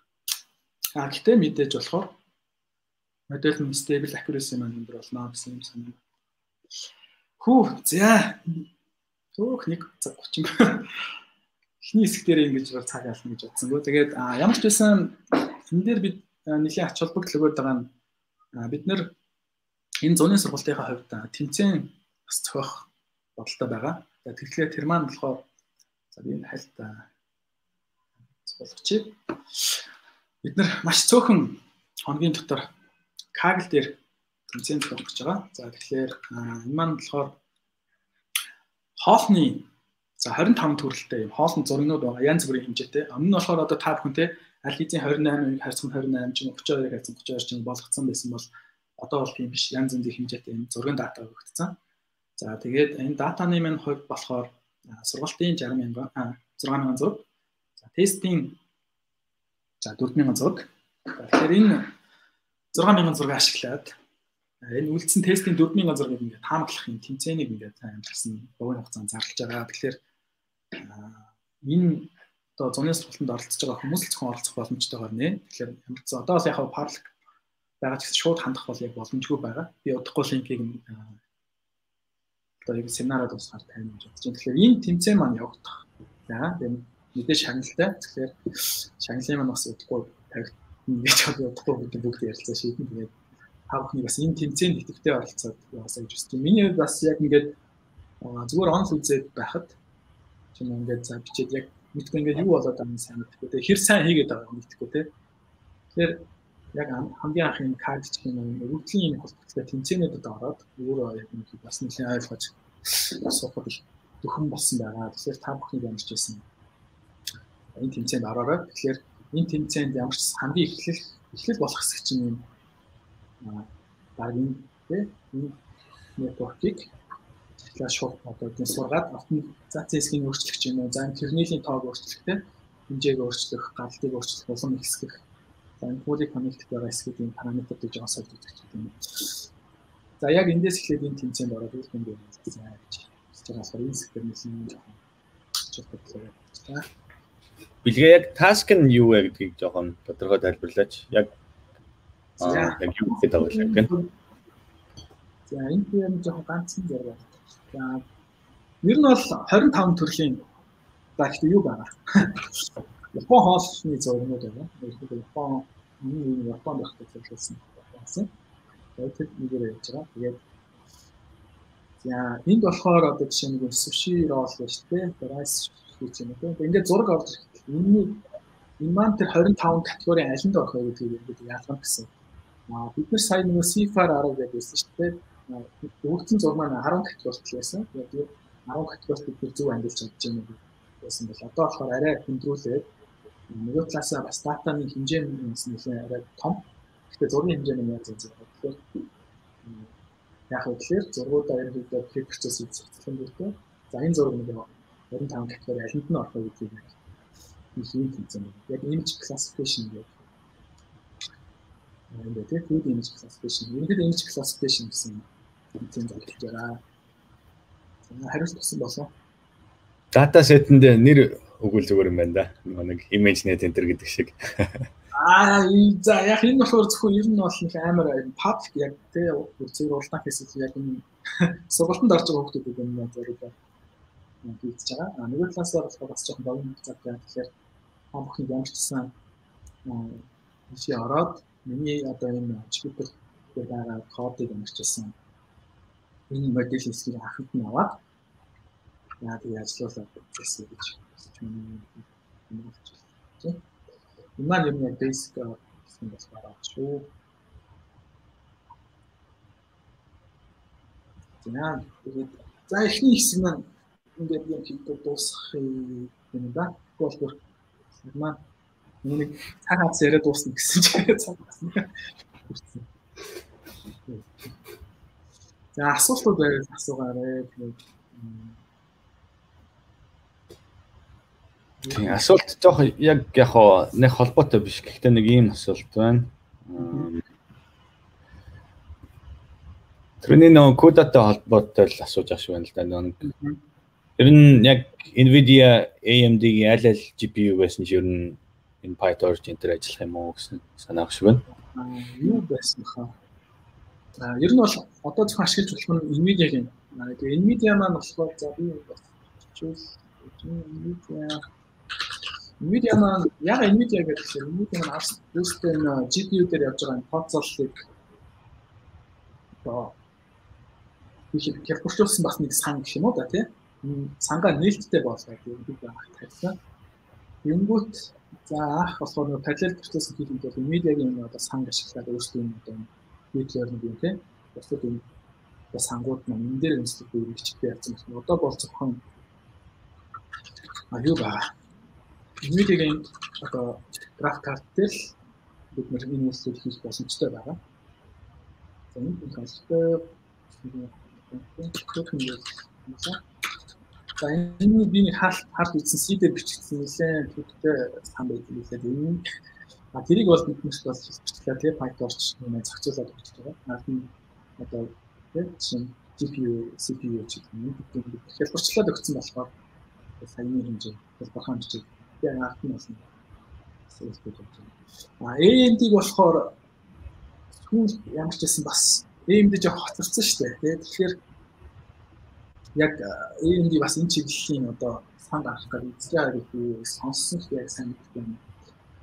Энэ байна тийм GPU computing station тэгээд Nvidia гэх юм бол энэгээр хамт явах юм байна. Тэгээ нөгөө тэмцээнд оролцсон нөгөө 12 онд орсон тэмцээний багийнхан болохоор яг маань нээлттэй байсан болохоор аваа ашиглаж явсан бас яг энэ маань бас яг 100% зохицоод байгаа гэж бас тийм шүү дээ. Тийм байгаа болохоор ч тэгээд одоо Юм чинь тийм GPU CPU ч гэдэг юм уу. Сонголтуудыг оо юу гарч байгаа тийм олгоод байгаа. Тэгээд одоо оролцох хүн Nvidia л байгаа Тэгээд бас юу яасан шүү дээ. Сүүл нөгөө Nvidia чи 360 мар гэж шиний байгаа. Тэрийг яасан чи бас сангаас суулгаж чадаагүй шүү дээ. Local компьютер дээр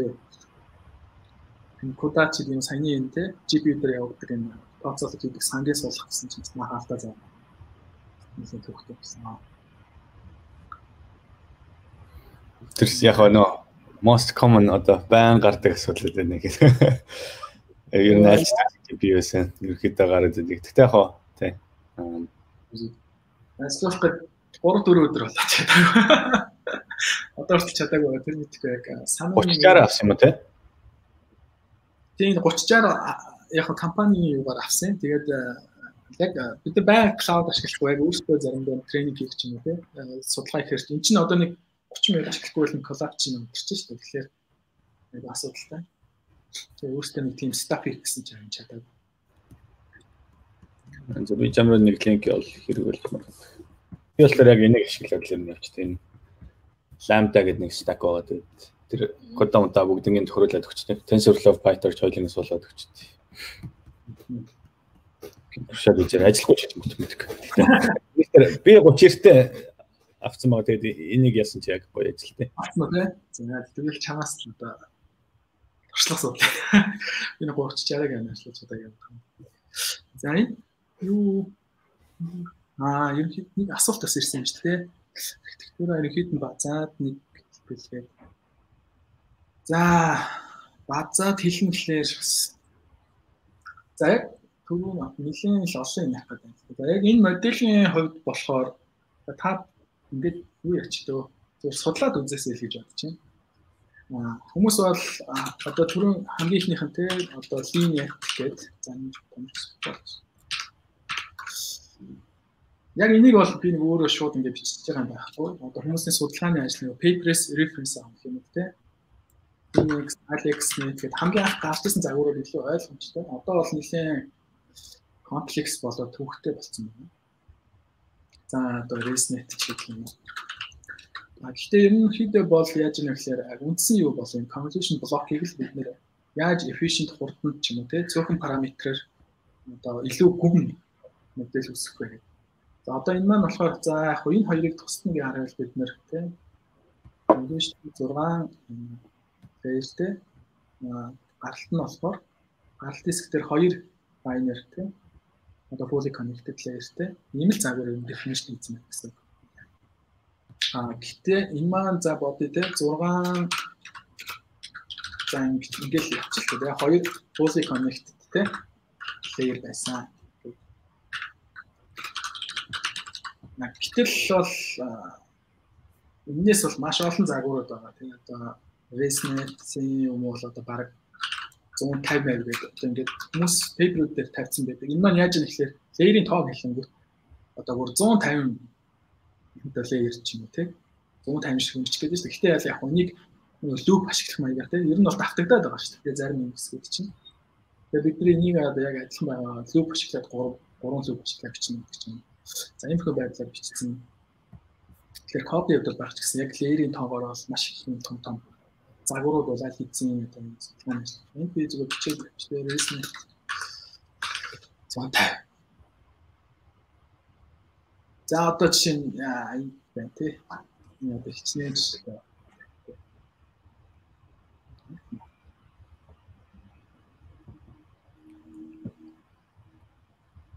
За энд бол одоо жишээ нь input нь хаана вэ?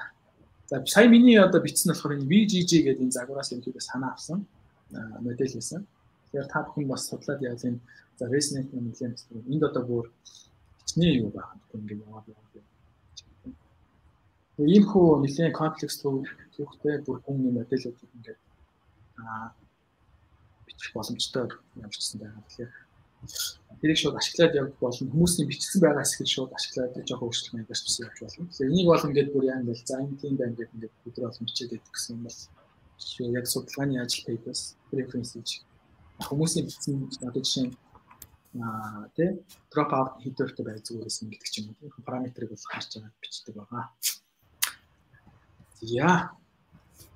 За эхний хэсгээр одоо ингээд дуусахгүй байна гэсэн болчлаа. Сценарийнхаа хоёрдугаар хэсгээр нь орсон. За энэ хэсгийг ч нэг юм бол байхгүй болох гэсэн гэж бодож байна. За юу яах вэ? Гит дээр одоо яг орох юм бол сая convolution гэсэн хэсэг байсан бол одоо болохоор recurrent neural network гэдэг чиптэй байгаа. Тэгээд маргааш болохоор жишээ нөгөөдөр энод маань нэлийн дэлгэрэнгүй яах бах те language model ч гэдэг юм уу. А би RNN гэхдээ орохгүй. Та тэг орч сайн хангалттай ярьж бол үгүйтэй. Яг теснээс цааш явах. Аха. За тэгэхээр Энэ болохоор за чамайг жоох яах болов гэдэг simple юу оруулсан байгаа. Тэгээд яг цагандаач тэгээд таа юм шиг байна. Аа recurrent neural net хоёрдугаар хэсэг нь болохоор recurrent neural network байгаа. За Билгээ зүгээр яа анхаарал өгөх гэсэн нөгөө нэг runtime хэрэг юм сурагчвал GPU-г одоо сонгочвол чамд амар байх юм болов? За яг уу одоо болохоор энэ юу байгаа. Би энийг болохоор нөгөө моделийн том нь баг. За simple болохоор их тийм Энийг бол CPU дээр ихэд тааруулаад бичсэн байгаа. Тэгэхээр өмнө нь одоо жишээ нь яг бас нэг жоохон гаргатай заавал энийг бид нар GPU болгоно гэдэг чинь нэмэлтүүлэлт хийгээд байгаа зүгээр жоохон хэлбэрчлээ явахын тулд энийг бол би зүгээр юун дээр яцсан байгаа. R1-ийг болохоор зөвхөн CPU дээр бичгээр хин одоо non гэдэг тийм аль нь ашиглах бай гэж яцсан. За ямар ч recurrent neural network-ийн хэсгийг хэлэнэ. За тэгээ өчигдрийн за лекцийг за ерөнхийдөө юм жоохон давтаад яриа тий. За өчигдөр болохоор нэлийн language model ч гэх юм уу за бусад нэлийн бас topic word vec гэдээ ярьсан ба энэ удаад болохоор тэр хэсгүүдийг бол би ярихгүй.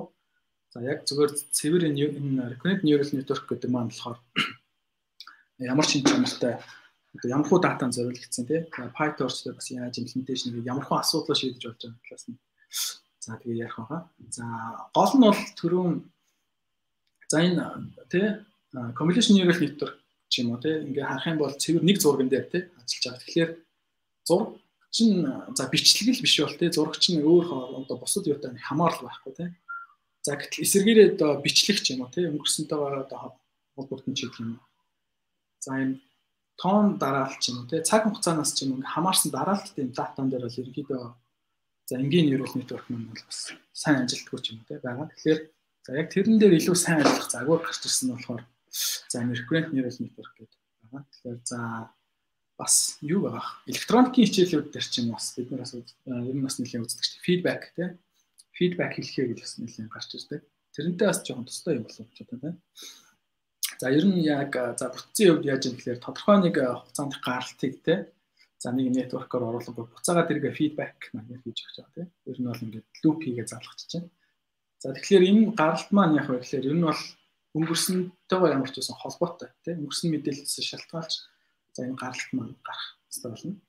За тэгээд Гүн neural network гэвэл хүмүүс за зурагтаа бол хэвээр янз янз болж байгаа маа. Ерөнхийдөө баруунтлын хэсэг түгээмэл байгаа. За тэгээд өчтөр бас лекцэн дээр гарч тээ. За энэ лупийг ингээд чи ойлгомжтой болгох гээд задлах юм бол за иймэрхүү хэлбэр бичиж болно гэдэг. За ингээд харах юм бол энэ x x division ht те манай за энэ hidden state чинь гаралтын эндсэн болохоор өнгөрсөн энэ бүх оролт болно те. За энэ дунд нь явж байгаа hidden state-ээс хамаарат гарч ирдэг за юм байна.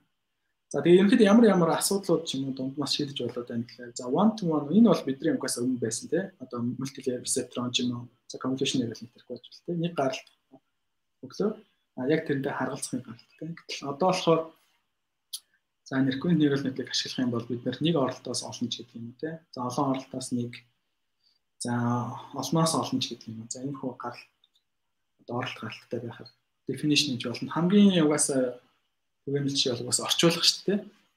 Тодорхой орчуулах маань бол үйлдвэр маань бас тодорхой янз янзын хэмжээтэй байгаад орчуулагч үйлдвэр маань яг тэрнтэйгээ адилхан тоотой бас байх албагүй шүү дээ. Тэгээ орчуулган дээр хамгийн их түгээмэл ингээд явж байгаа. За За тэгээд энэ дээр за өчтөрийн лекцтэй холбоотой яг хуу томьёо болон яригдсан keyword-уудыг жоохон бичсэн байна. За ямар ч байсан definition-ийн хувьд бол за тоон тэгчлэхээр бол recurrent neural network ингээд илэрхийлсэн байна тийм. За дотроо болохоор хоёр юм. За юу байна те. Одоо энэ гарал ямар ч сан hiding state оролтыг өөрчилөх нэр вектор те hiding state-ийг дахиад нэг өөрчилээд гаралт руу дамжуулах юм. За энэ хүү байдлаар definition хийсэн байна.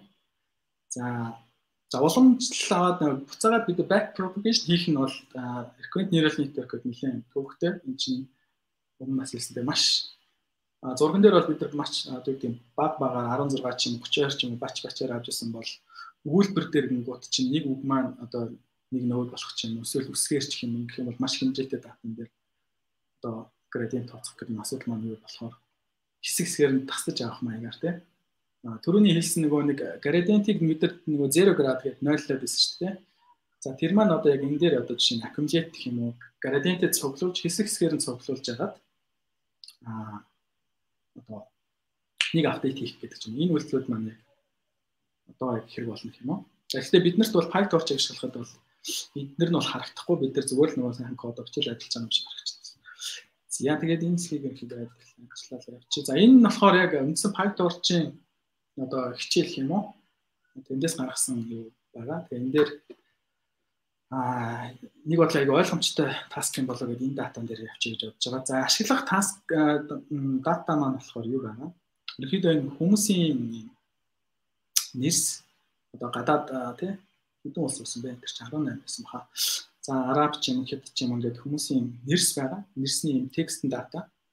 Тэгэхээр өнөөдөр яг хуу энэ RN ашиглаа шийдэх гээд байгаа нэг юм болохоор за энэ нэр маань одоо яг аль улсын нэр юм шиг байна гэдгийг таамаглах гэдэг юм гэсэн. Тэгэхээр за ямар ч гэсэн нэр маань ингээд яг юм бол Тэгэхэд хид хидийн үсгийн дараалал яваад тийм нэг тодорхой дарааллууд ингэж явж явж байгааг хараад за энэ маань одоо энэ улсын одоо нэг юм шиг байна гэж хэлдэг юм гэсэн. Өөрөөр хэлбэл нэр англих таск байна гэсэн үг үү тийм? Тийм, ер нь яг уу яг үсгийн хувьд гэх юм тийм?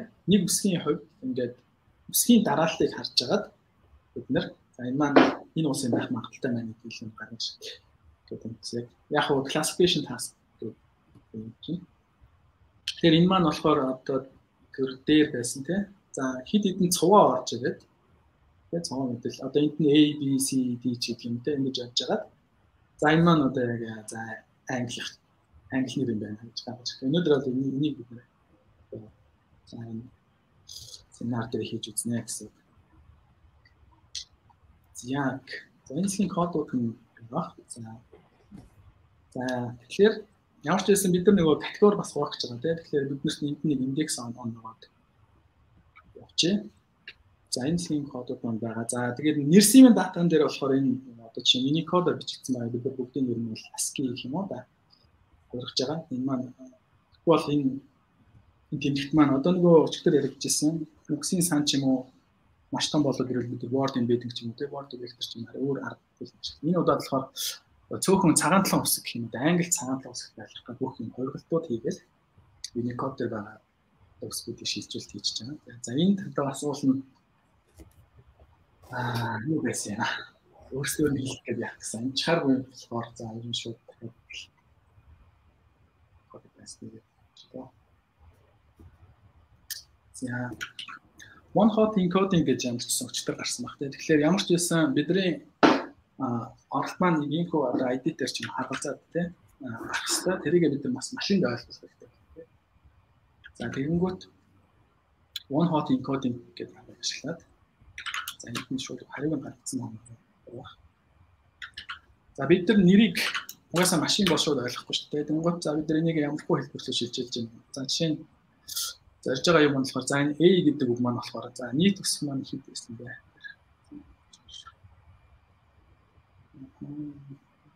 59 байна тий. За 59 шиг илэрхийлэгдэж чинь тий. Манай нийт одоо үгсийн үгийн сан юм тий. Тэнгүүт энийгээр бид нар what one hot encoding-ээр яаж илэрхийлж байгаа бол A гэдэг маань нэг дээр харуулсан тий. B гэдэг маань одоо хоёр дээр чинь ингээд за one hot encoding гэдэг. За энэ бид ингээд авах боломжтой болгоцлоо. Окей, юм явж байна. За энэ дээр болохоор бид нар бүгдийг нэг тенсор юу нэг матрix руу хадгалах гэж байгаа болохоор энийг бас нэг тоохгүй орчиж болно. Одоо болохоор бид нар нэг датагаа татцсан байгаа тийм. Тэр энэ дата маань яг нэг цэвэрлэгдээг болохоор төрөний хэлснээр за Unicode-оос ASCII-ээр хувиргаад хажууд нь яг тэгэхээр тухайн лейблийн энэ таргет гэх юм уу тийм бидний аль улс вэ гэж зорж байгаа эсвэл нэмээд бичиж өгчихнэ гэсэн. За За энэ хэсэгтээ нь болохоор бид нэр нэг дата хүн ганцхан байгаа. За түрүүн болохоор нэг eminist гэдэг юм C одоо тий C-аар харуулж юм уу тэр дата нь болохоор тест тренинг гэх хэсгүүд маань автоматар юм бол хуваагдаад чинь цаанаасаа бэлтгэгдсэн. Тэгээд явжсэн бол одоо болохоор тийм дата багт болохоор бид нар өөрсдөө а тренинг тест гэдэг хувааж байна. За энэ дээр болохоор яг нийт датагаа 90 аргаар хуваагаад явж гэнэ гэж шууд болгочих болно доо. Дата сет маань тренинг дата сет нь болохоор нийт дата нь 20% за үлдсэн тест нь 20%тай. За ингээд харуулна. За 18 мянган бид нэр тренинг ашиглаад 2000 за нэрсийг ингээд ялах гэдэг. Тэгээд яг PyTorch дээр ч юм уу за neural network implementation ч юм уу хэсэг маань жоохон уйтгартай миний хувьд бол тийг санагдав. Аа бид нар түрүүн байсан шүү дээ. Аа convolution neural network дээр бид нар нэлээд за ингээд дунд нь connection escape-ийн гэдэг ч юм уу нэлийн ингээд tweak хийгээд чинь янз янзаар өөрчлөлт модельөө тий оролцох юм боломжтой байсан бол recurrent neural network-ийн хувьд баг цаанаас нь одоо definition үстэй LSTM гүрүүч гэдэг юм уу өчтөр байсан тий gated recurrent neural network гэдэг юм. За тэднийг л ашиглаад явах. Өөр бид нар нэг амар сүртэй яг хийгээд байх юм бол байхгүй. За эсрэгээр яг attention ч юм уу те одоо одоо сүүл яригч байгаа трансформ ч юм уу. За ийм хүү зүйлсүүд маань илүү яг language model ч юм уу те хэлний төвшөнд бол сонирхолтой одоо болж эхэлж байгаа болов уу гэж хараад байна. За PyTorch дээр болохоор за recurrent neural network-ийн одоо тайлбар маань за энд ингээд бичсэн байна. За ер нь бол за мэдээж input нь ямар байх юм дунд нь байна а hidden size гэдэг ерөнхийдөө дотроо энэ маань одоо memory маягтай нэг векторыг хадгалж байгаа шүү дээ. Тэрний юм хэмжээ хэд байх юм, хэдэн layer байх юм. За энэ гурван ерөнхийдөө параметрыг бид нэр зааж өгөөд ингээд ашиглах юм боломжтой байгаа. Гэхдээ энийг одоохондоо бол за энэ ашиглахгүйгээр өөрсдийнхөө өмнө үзчихсэн одоо одоо мэдлэг ашиглаад гэх юм уу те. За recurrent neural network-ийг үүсгэх гэдэг үзье. Тэгэхээр за энэ зураг байна. За энэ зургийн дагуу хэдүүлээ. За recurrent neural network үүсгэх үзье. Тэгээ яаж юм гэхээр ямар ч байсан за input байна. Evidence за хэсэг маань байхад Энэ маань болохоор яаж юм гэхээр тодорхой хэсгээ дахиад нэг лупдж шүү дээ. Тэгэхээр ерөнхийдөө recurrent neural network. За энийг яг ингэж бичээд явъя. За би энэ дээр бас төлөв нь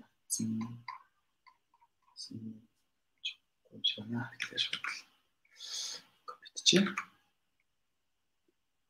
Яг баг ингээд явчих байгаа. За энэ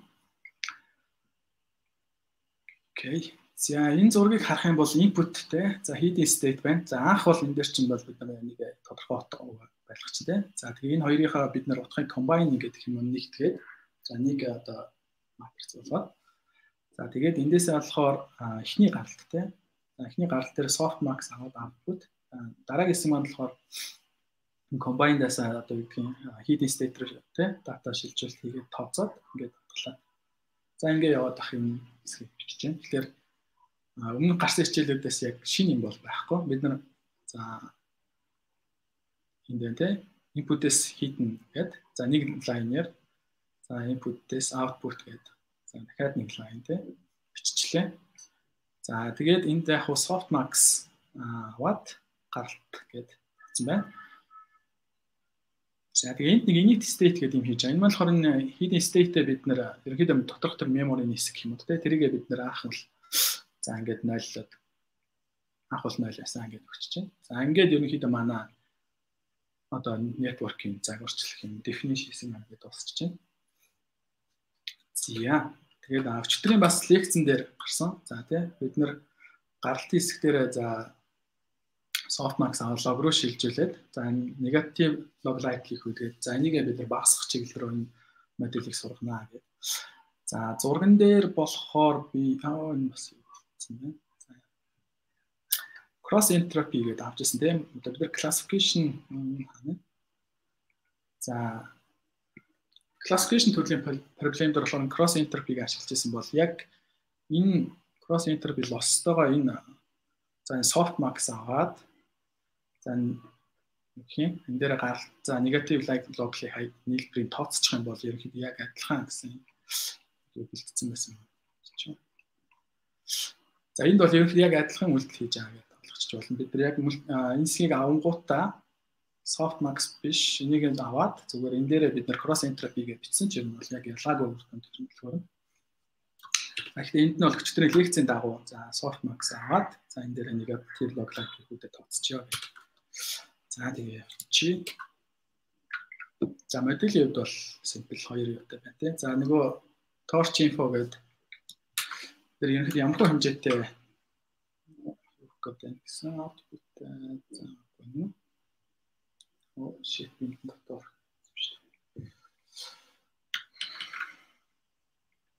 Боролтоо дотор очиж.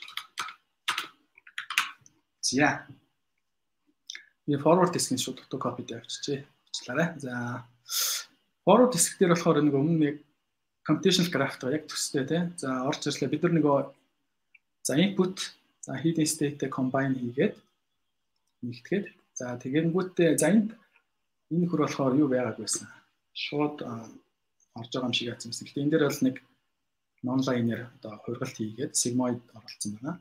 За тэгэнгүүтээ За болохоор энэ combined-аас болохоор бид энэ output руу гаргаж байна. За output-ийн хэсгээ бид нар combined-аас ямар ч байсан output руу энэ нэг лайнер хувиргалт хийгээд эндээсээ softmax аваад output-ыг гарна. За ийм модуль definition хийсэн байна. За параметрийн хувьд бол одоо болохоор за 86 мэг гэдэг баг. Тэгэхээр болохоор модель маань хурдан сурч байгаа. Одоо энэ за энэ бас дүүн За.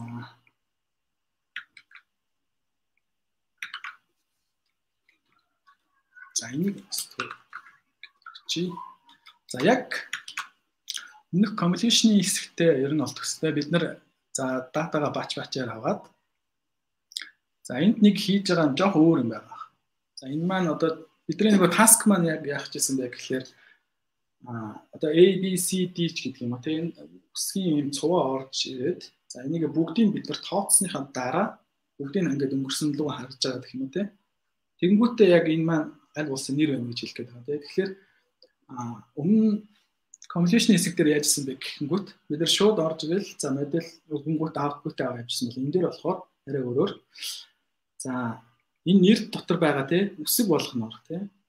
Одоо жишээ нь энэ нэр маань одоо за юу гэдэг юм за За тон гэдэг юм бол яг хэлээр T O N тоцож байгаад За тэгэнгүүтээ яг энэ бүхний ямар ч тоос дуусныхаа дараа лосоо тооцоод тэгээд ерөөдөө backward хийгээд одоо автоматик параметр шинжилнэ гэсэн загвар байгаа.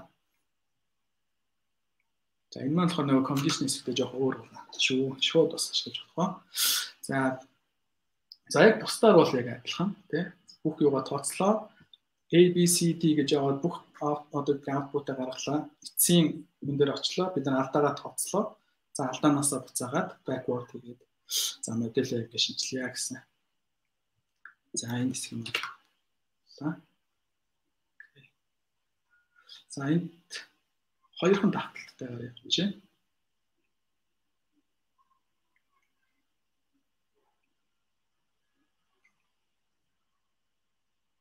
Яг За параметрын тоо маань бас бага болохоор харьцангуй дээр бол цаг авахгүй гарыг гарч байгаа. Яг асуултууд байна нэрэ. Цагандаа ярих гэдэг амар ярих. Тэг асуулт харах хэрэг баг шүү. Асуултууд яа асуугаарай.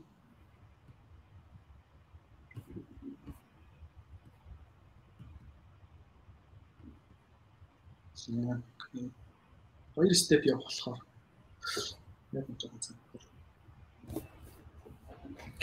Сурвалжаа хооронд бэлгэн нэг асуулт асууж байгаа. Аа энэ одоо evaluation одоо дүгнж байгаа ч юм уу аа энэ метрикүүд нь болохоор төрөн болохоор accuracy нэлээ явах шиг байсан тий. Аа. Тэгээ энэ дээр болохоор loss одоо жишээ нь юуны loss юм бол За энэ дээр яг өчтөрийн лексцэн дээр гарсан байгаа да. Ерөнхийдөө бол бид нэр зорж байгаа зорилго маань бол яг нэг өсгийн дарааллыг харж байгаа тийм. Өсгийн дараалал маань өмнөх дараалтаа сан өмнөхөөс хамаарч байгаа шүү дээ. Зүгээр ингэж харж агаад за аль улсын одоо нэр баримтыг хамлах гэдэг байна шүү дээ. Тэгээд за өчтөрийн лексцэн дээр байна. Майнд За өчигдрийн яг лекцээс дахиад нэг харуул хэрэгтэй баг. За яг одоо бид нэр яг яаж юм гэхээр за одоо энэ тухайн нэг акшн дахтай энэ байгаа энэ үгдлийн маань одоо магадлал маань өмнөх одоо тийм стейт гэх юм одоо өмнөх одоо цугаас хамааралтай тийм. За тэгээд бид нар энийг болохоор одоо яг нь уламжлах гэж юм уу тийм нийлбэр хэлбэр бичиг хэлбэр болохоор логарифм аваад энэ нийлбэр хэлбэрийг илэрхийлчихэд За тэгэл өөрийнх нь болохоор нэг өсөх функц байгаа шүү дээ. Тэгэхээр за өсөх функц юм чинь энэ нэг макс болгоно гэдэг маань энтэй одоо адилхан үржирээ те. Нийт энэ макс одоо нийт өмнөх магадлалууд энэ үржиртэй нэг хэсэгтэй адилхан гэдэг. За энэ яг логарифм авснаар бид нар яах вэ гэхээр нийлбэр хэлбэр зүг өгчөж байгаа шүү дээ. За тэгээд яг энэ дээрээ бид энэ негатив лог сайклыг гэдэг бот тооцож байгаа гэсэн. А гаралтын маань юу байгаа? Мэдээж нөгөө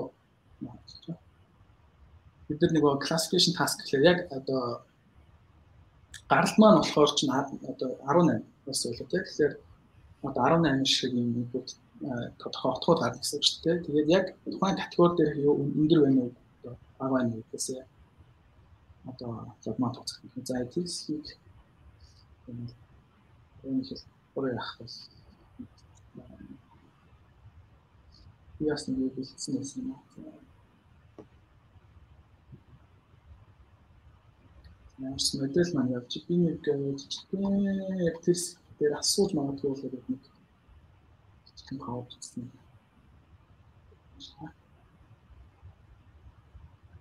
За За бид нар нөгөө өмнөх зурган дээр болохоор cross entropy гэдэг юм тооцсон тийм. Тэгэхээр за шитлийг нь бол за шууд хэвчээс нь авах. Аюу байна. За бидний нөгөө гаралт маань тий гаралтыг бид нар өгнө болохоор ямар нэг одоо тоонууд байгаа шүү дээ. Тэрийгээ бид нэр магадлал руу шилжүүлээ тий soft max гэх функц шиглээ. За тэгэнгүүтээ бид нэр нөгөө одоо classification task дээр cross entropy loss гэж ашиглаж байгаа. Тэрэн дээр бид ямар хөрвөлт хийсэн бэ гэхээр за тухайн soft market-аас soft market-аар гарчсан утгыг те юм байна те. За лого аваад тухайн өөрийнх нь таргет төвсгч гэх юм уу да. За тэргээр үржүүлээд нийт нийлбэрээ аваад энийг багасгах хэрэгтэй. Тэгэхээр за энэ дээр жишээ авч үзье. Ингээд үзье. За бид нэр cross entropy гэдэг нэг функцийг хэлчихнэ шүү дээ. За энэ дээр жишээ аваад за манай нэг таргет гэх юм те одоо энэ болохоор одоо жишээ 5 юм категоритой одоо database гэдэг үзчихээ те. За тэнгүүтээ за 3 дахь категори дээр нэг утга байсан. За тэгэхээр манай модельор нэг явангуудаа одоо тий За ийм утгууд гарчлаа тий 0 1 энэ дээр яг би нөгөө нийлбэр нэг байхаар soft max авцсан юм шиг болоод байсан. Заавал бол тийм байх шаардлагагүй. За ингээд нэг 5 утга гарцсан тий. Тэгээ нэг дээрээ жоох өндөр байж штэ. Тэнгүүт бид нэг за cross entropy-ийн тооцоо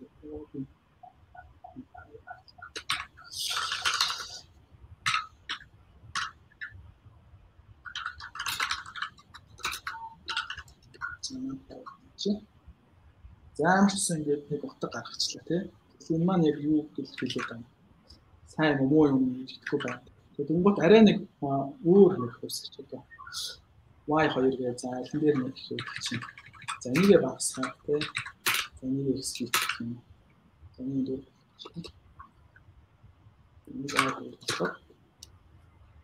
Тэнгуут ингээ харах юм бол манай алдаа маань ихсээд За энэ хүү байдлаар бид нэр энэ алдааг л баг болгох гэдэг бид зориод байгаа.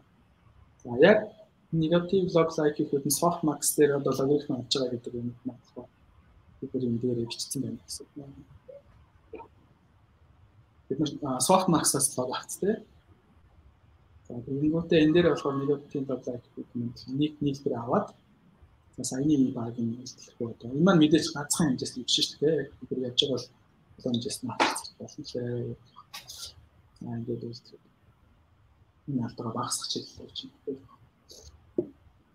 За.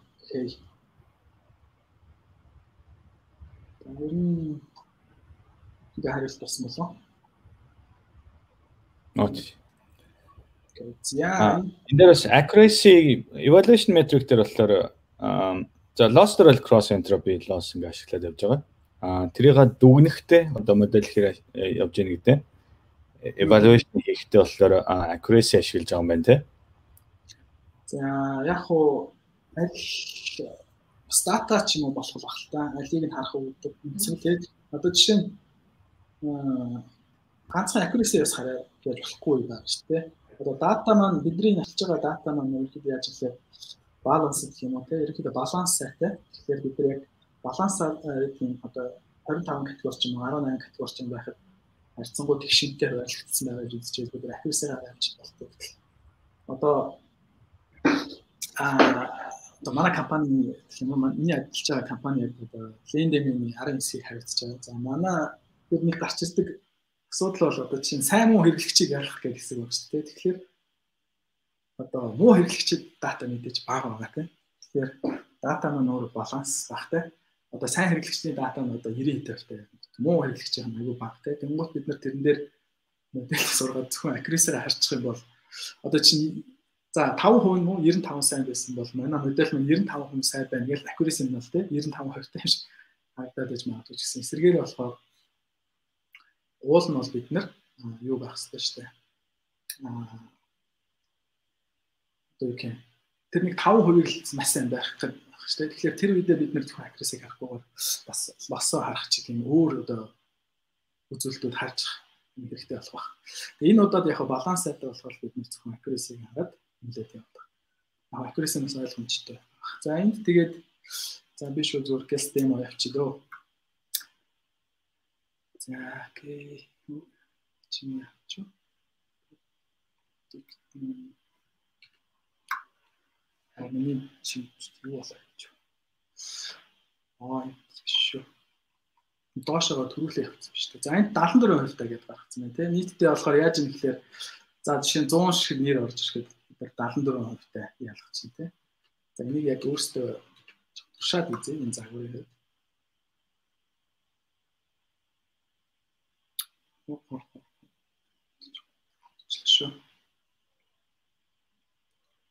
За энд би притиг буруу хийжээ. нийт яваа тооцох дээр мөрөө гэсэн байна. За манай нөгөө зорилго маань болохоор одоо энэ үгсийн дистаралыг л зүгээр харж байгаа л тий. Хин нэр маань одоо аль улсын нэр байсан бэ таамаглах гэдэг дээ. Тэгэхээр ингээ харахаар ямарсан тодорхой хэмжээнд бид нэр энэ нэр маань бол англи юм шиг байна, энэ маань хятад юм шиг байна гэдэг.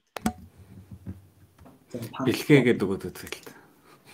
Ганц бэлгээ гэдэг одоо гайхдаг болохоор ямар үгэн авчих. Тэгээд За англи нэртэй юм. Тэгэхээр яг энэ дээр одоо яаж юм гэхээр асуудал үүсчихсэн. Монгол хэлний хүмүүс нэрсний дата ороогүй болохоор нэг удаасаа тийм бидний категорид Монгол гэж байхгүй. Тэгэхээр одоо яаж хийж байгаа л хүчээр арай жоох өндөр байгаа магадлалтай англи руу яаж миний нэрийг одоо ерөнхийдөө шийдчих чинь гэсэн үг тийм. Тэгэхээр энд юу бол энэ тэгэхээр одоо чинь бэлгээгээд 6 үсэг ингээ явуулахад аа 6 үсэг бүгдээр болохоор RNN л нэг нэгээр ингээд ороод Тэгэхээр одоо B-ийн hidden state нь I руугаа шилжээд I-ийн hidden state нь L руугаа гэх мэтлэн ингээд явчихдаг гэсэн үг. А тэгээд тэр хэсэг бүгдээрээ нийлээд тэрнээс гарч ирсэн output боллоо classification ашиглаж байгаа тийм. Тий.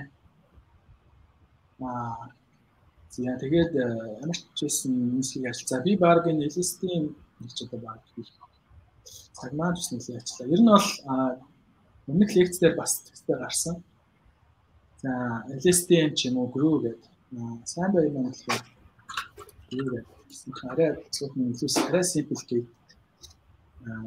веб нэрэл нэтвэрх гэсэн. За энэ болохоор биений зүгээр жишээ болохоор нүд түүх дээр болохоор LSTM гэж загвар байгаа. Тэгээд мэдээж RNA-ийн дээр бас асуудлууд бий. За тэрийг маань ерөнхийдөө шийдэх гэж гарч ирсэн. За энэ дотор олон гейттэй мартах санах гэх юм уу. За бүх юуг нь бол би яг хийж бол үзэж байгаагүй шууд л аваад ашиглаж ирсэн. Ер нь бол та бүхэн бас 0-аас нь имплементашн хийсэн жишээнүүд бас нэлээд байлаа. Тэгэхээр тэрийг бас хараад ойлгоод явж болох. Тэгээ энэ нь болохоор ганц өөр юм нь болохоор за бидний хийсэн модель одоо загварын болохоор Аа за бид нар нэг энэ энтэй нэлээд төстэй байгаа. Бараг л за энэ хэсгээр юм гэдэг чинь.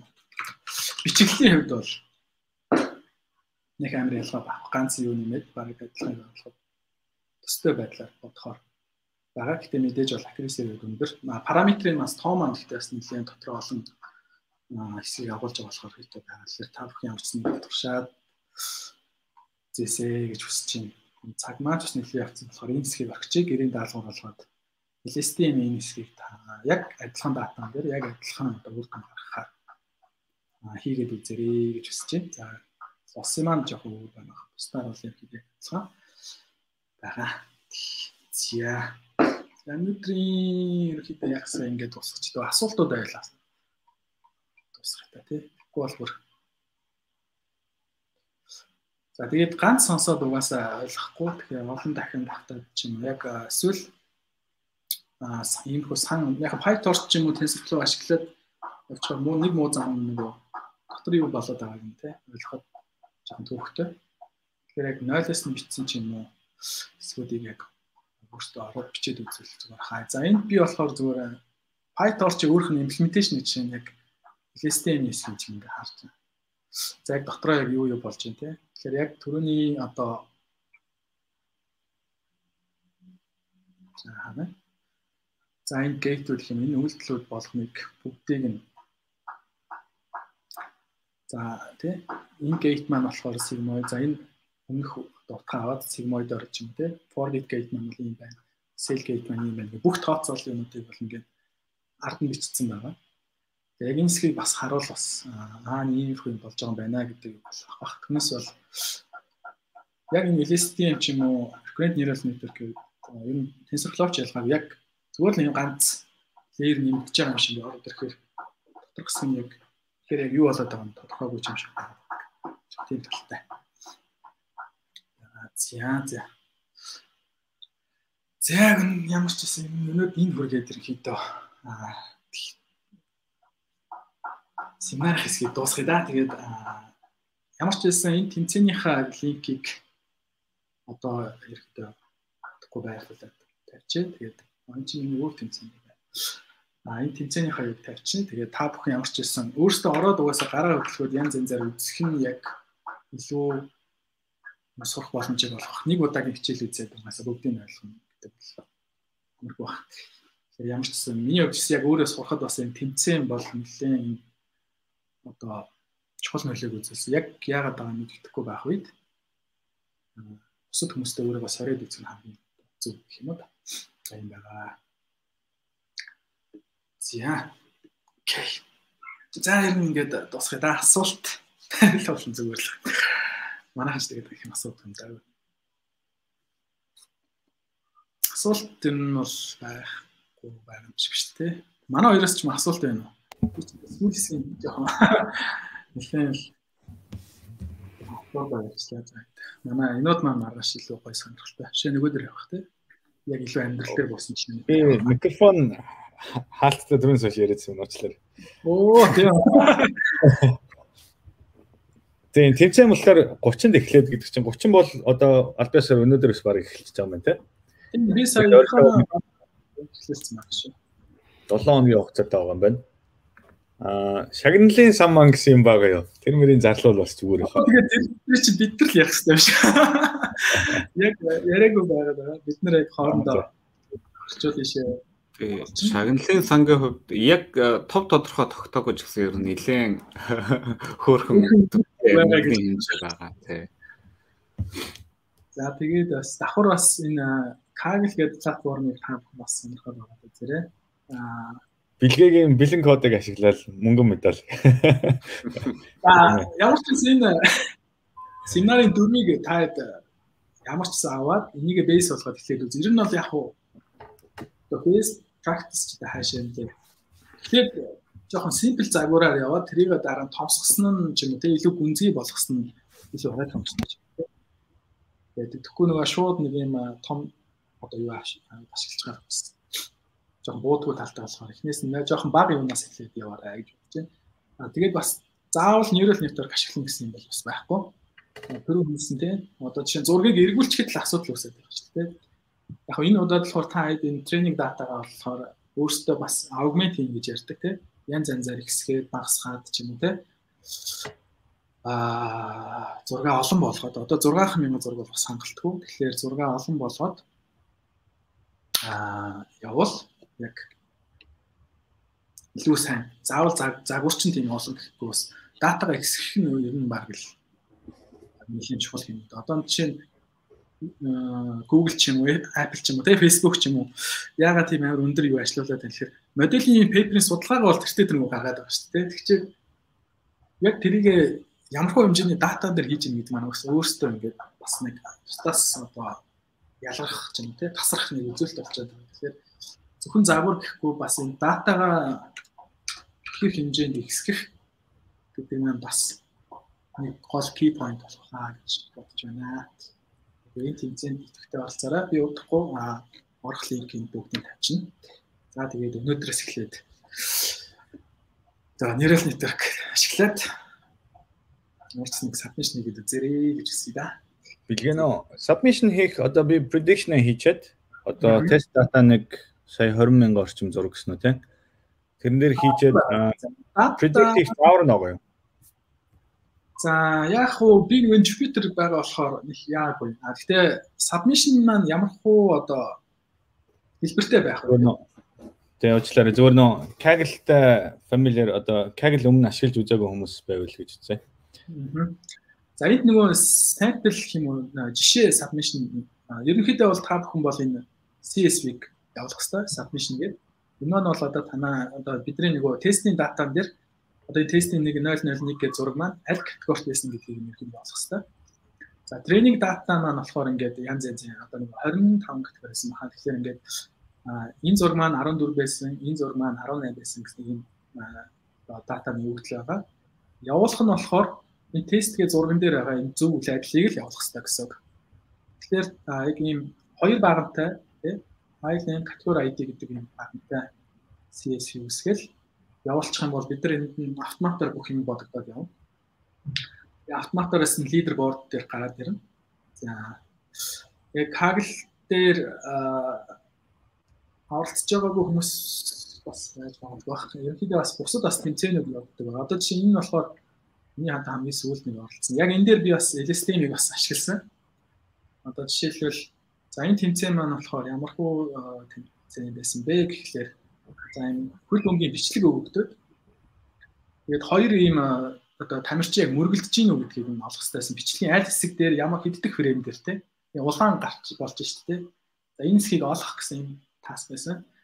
Тэгээ энэ маань болохоор бас түрүүн ярьсан нөгөө зураг convolution neural network байгаад бас LSTM давхар ашигласан. Яасан бэ гэхээр бичлэгч нь өөрөө юм түүхэн те цуван дата гэж үзээд одоо яг юм convolution-аар орж ирсэн feature map байгаад LSTM буга input болгож өгöd Тэгэнгүүтээ бичлэгээ ингээд нөгөө шүүгч чинь ингээд бичлэг харж агаад за энэ хоёр нөхөр те одоо алдаа хийсэн байж юм те сагссан дээр ялангуяа гэдэг чинь бичлэгийг ухрааж үзээ те. Яг тэрнтэй яг хүний одоо юу бодох юм бол яг тэрнтэй адилхан үйлдэлийг энэ тэмцээнд одоо хийгээд бас яхаа боломжийн хэмжээнд оролцсон байна. Тэгээд хүмүүс мэдээж ингээд сабмишн хийвэл бас а юу юм бэ? Бас энэ тэмцээнд нөгөө багаар оролцох бас боломжийг олгоцсон байна. 3 хүн, максимум 3 хүн гэхэлэр ганцаар оролцох шаардлагагүй гуруулаа нийлээд оролцох боломжтой болгоцсон байгаа. Тэгээд ганцаараа мэдээж олж болно. Энэ дээр бол одоо энэ хөр бол ганцаараа хол тасархай төрүүлсэн байна. Тэгэхээр та бүхэн submission хийх юм бол одоо нэр нь гараад score нь тэд байсан гэх бүх юм автоматар гараад ирнэ. Тэгээд энэ удаад болохоор яг түрүүний хэлсэн classification accuracy гэдэг яг accuracy те зөв ангилж чадсан уу гэдгээр уралдахаар метрикийн тохиолдсон байгаа. Тэгэхээр submission хийвэл ингээд шууд гараад байна. Манай өөрсдийн тэмцээн дээр юу юу хөө? Багаар оржуулах юм уу? Эсвэл ганц цанцын хоо вэ? 3 хүн гээд макс тавьсан байгаа. Аа. Тэгэхээр яг гуруулаа ч юм уу те ганцаараа гэхээр гуруулаа нийлж ороод найзуудаараа ч юм уу те нийлж оронгуудаа аа яг энэ тэмцээн юм сабмиш нэгэд үзээрэй те. Ер нь бол за үнэхээр яах вэ одоо god гэх юм уу те. За grand master гэх юм уу. Grand master-ууд нь ч гэсэн ингээд бас нийлээд баг болоод бас оролцдог те. ийм боломж байгаа. Тэгэхээр заавал ганцаараа гэхгүйгээр нийлээд ярилцаад хийх бас олон боломж байгаа. Одоо жишээ нь гуруулаа оролцоод нэг нь нэг өөр модель, нэг нь өөр модель ч юм уу тий. Гурван өөр модель хийж үзэх гэж байна. Тиймэрхүү боломжууд нийлдэг. Тэгэхээр энэ дээр бүгд гараад ирнэ.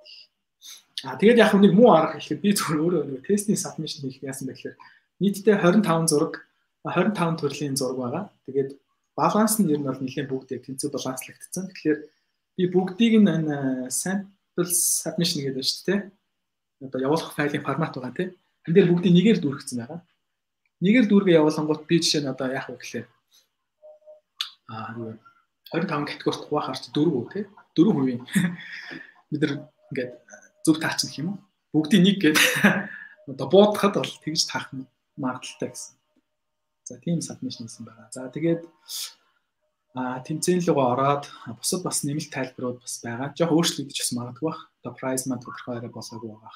За ensemble модель бас ашиглах уугүй. Энэ донд бас мэдээж нэлээд туршлагатай хүмүүс байгаа болохоор ensemble ашиглахгүй байлгах юм уу гэсэн бас нэг бодол байгаа. Тэгэхээр тэрийг удахгүй нэмээд хэлчихнэ. За. За ер нь дуусахгүй тэгвэл. За бидгээд баярлалаа. Ямар ч юм нэлээд comprehensive одоо явууллаа. Тэгээд бас бүр амжихгүй байсан юм. Тэгээд би нөгөө фото ингээд яамсан хараад яг мэдээж бичээд явна гэж бодсон чинь бүр тэгсэнгүү. Тэгээд дунд нь жоохон jump хийгээ явчих бол тэгээд та ямар ч өөртөө тэр ноутбукийг те утга хэсгүүдийг жоохон гүрцэх гэж бичээд үзээрэй. Тэгвэл жоохон толгойд нь үлдэх баха гэж найдаж байна. За тэгээд цаанаас баярлалаа. За баярлалаа. Бидээ баярлалаа. Анхаарал тавьсан. Цаг 30 минут яг